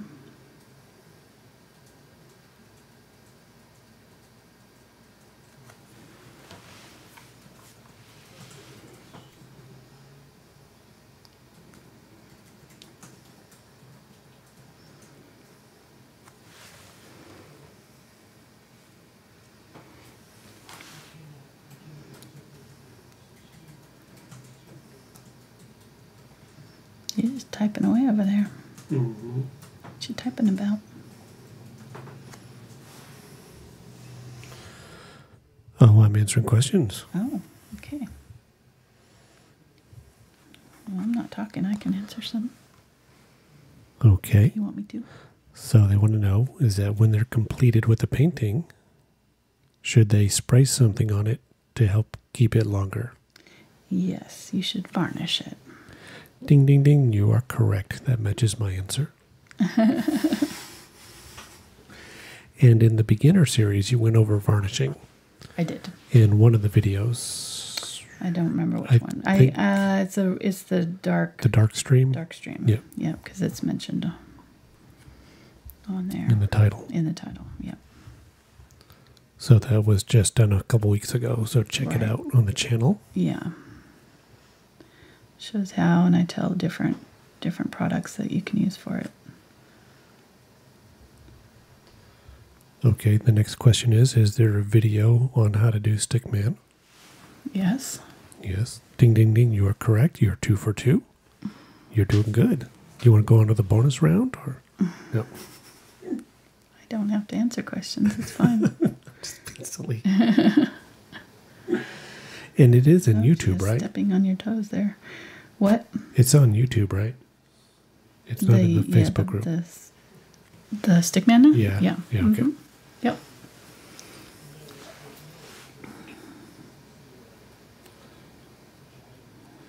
No, I get all the easy questions. You get the hard questions. Okay.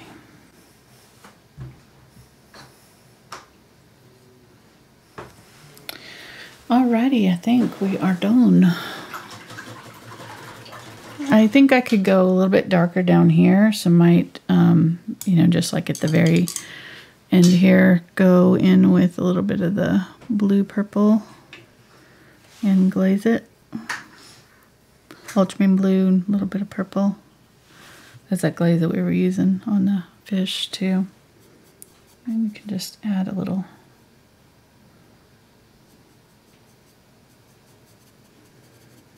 glazing down below here.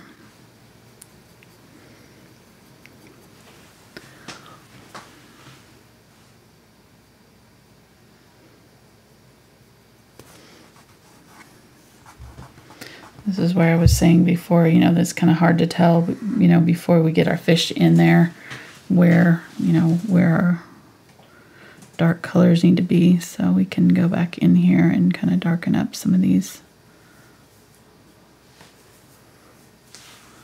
Make sure we've got good contrast. That's the main thing. All right, I think we're, I'll call that done.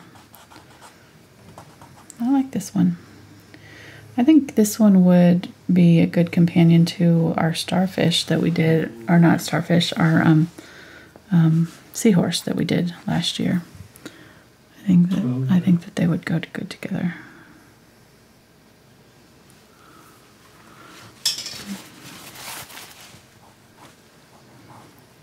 Just using the paper towel to kind of dab off any extra that you don't want. Sign it, and all be done here. Okay, somebody would like to know is glazing liquid the same as blending medium or floating medium? Um, They're all probably uh, very similar as far as they're probably all, you know, some sort of an acrylic binder.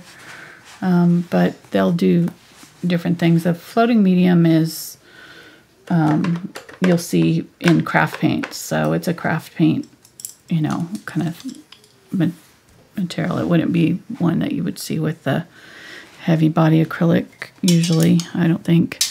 Um, at least I haven't seen it. I'm going to go ahead and put some of this coral in front of this. Here, I'm just seeing that I missed that. Um, but I mean, you can use it with your your you know better paints. But if you're if you're using craft paints, um, then you know you can use those. Um, uh, what was the other one? The the question is the Is it the same as floating medium, Floating medium. or blending medium? blending medium. Um, I don't really know what blending medium is. I think that those all sound like they're they're craft acrylic uh, mediums. Um, so yes, you can use them. Um, I wouldn't use the blending medium or floating medium for glazing, though. I mean, that's not what it's meant for necessarily. So um, it probably would work fine. It's just the blending mediums are if they're like an extender sometimes they can make your paints feel like a little sticky like or um, give it a weird texture so just kind of be aware of that um, just adding a little bit more of the white highlights here and there um, the the glazing medium that I use has an extender in it so it um, It'll give you a little bit extra drying time as you're working, and it does it does help with blending some. I don't use it um, that much for blending any, as as much. Um, okay, there we go. Go to super chat. All right, well, while you're doing that, I'm going to go ahead and add more colors on here. Get some magenta. I didn't turn on the disco cam. So there it is. so, yes, we have a super chat or two or more. So, the first one is from Patty, and she says, Another inspiring tutorial. Oh, thank you, Patty. The next one is from Daniela. She says, I started watching your videos two years ago, and now I create in many other mediums, sell my original work online, and I'm pursuing my journey as a full time artist. That's amazing. Thank you for being my virtual mentor. Wow, that's really cool, Daniela. That's awesome.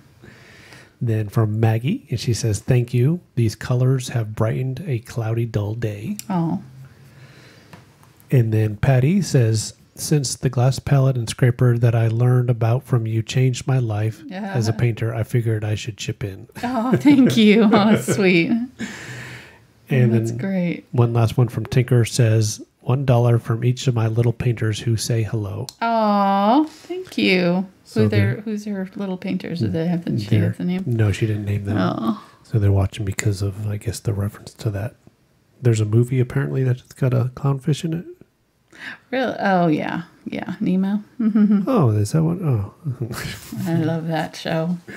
so I've probably watched that movie like a bazillion times when my kids were little. so thank you to Tinker and to Patty and to Maggie and to Daniela and to Patty. Wow. Thank you very very much. Thank you. That's so sweet. Very sweet. All right, I'm I'm just tinkering now. Take speaking speaking of tinkering. Ah, I see what you did there.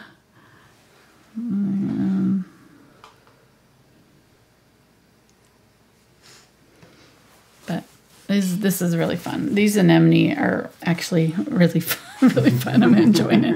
I'm having a hard time stopping because they're so fun. You could just put on some music and just I know I could and just disappear kinda for a few dab. hours. Yeah, exactly, exactly. They're uh, they're that fun. I'm gonna get a little bit of the orange here. Put a pop of bright orange in some of these. So yeah, if you try this, you can share it with me on my social media. I've got all the links down in the description for that, and um, also for um, where to buy the materials that I use. If you use our links, it helps our channel, um, supports them, and we get a little bit of. Uh, it doesn't cost you anymore, but it helps us. And um, what else? Um, you can share the videos. That that helps us. So if you you know if you know uh, when you paint it or something like that, when you share it on your social media, if you'll like either link to the video or mention the video with it, that um, really helps, you know, get the word out of what we're doing, these free videos on YouTube. And um, yeah, we appreciate you guys hanging out with us on a Saturday. It's been a lot of fun. This one's, he's a cute little guy. I enjoyed it. I hope you enjoyed it too. So, all right, we'll see you guys later, and we'll be back for uh, our patrons this uh, tomorrow. So, if you're part of our Patreon crew, the video links are all um, on Patreon. If you click on there, you, there's still time to join. Um, if you click on the patreon.com slash Angela Fine Art or just Google Angela Anderson Patreon, it'll come up in the Google search. But um, you can check that out if you're interested in joining us tomorrow for the Go ahead and show the classical vase that we're going to be painting. It's really pretty. Or never, or don't. Uh, I'm sorry. That's fine. Saturday image, Bonus. bonus image. Here it is. Yeah. We'll be painting that tomorrow. And hopefully, hopefully about four, maybe maybe five hours, but hopefully four. We'll see. Mark says I need to simplify it. Considering that just one of those flowers can take me two hours on YouTube or longer, uh, I think we're gonna do them a little bit more impressionistic style, maybe not super full realism, who knows? I always say that, and then I end up doing like this and going back and going for realism. That's just what I'm drawn to. So, all right, I'm gonna quit there. Thanks, guys, for hanging out with us. We'll see you next time. Bye.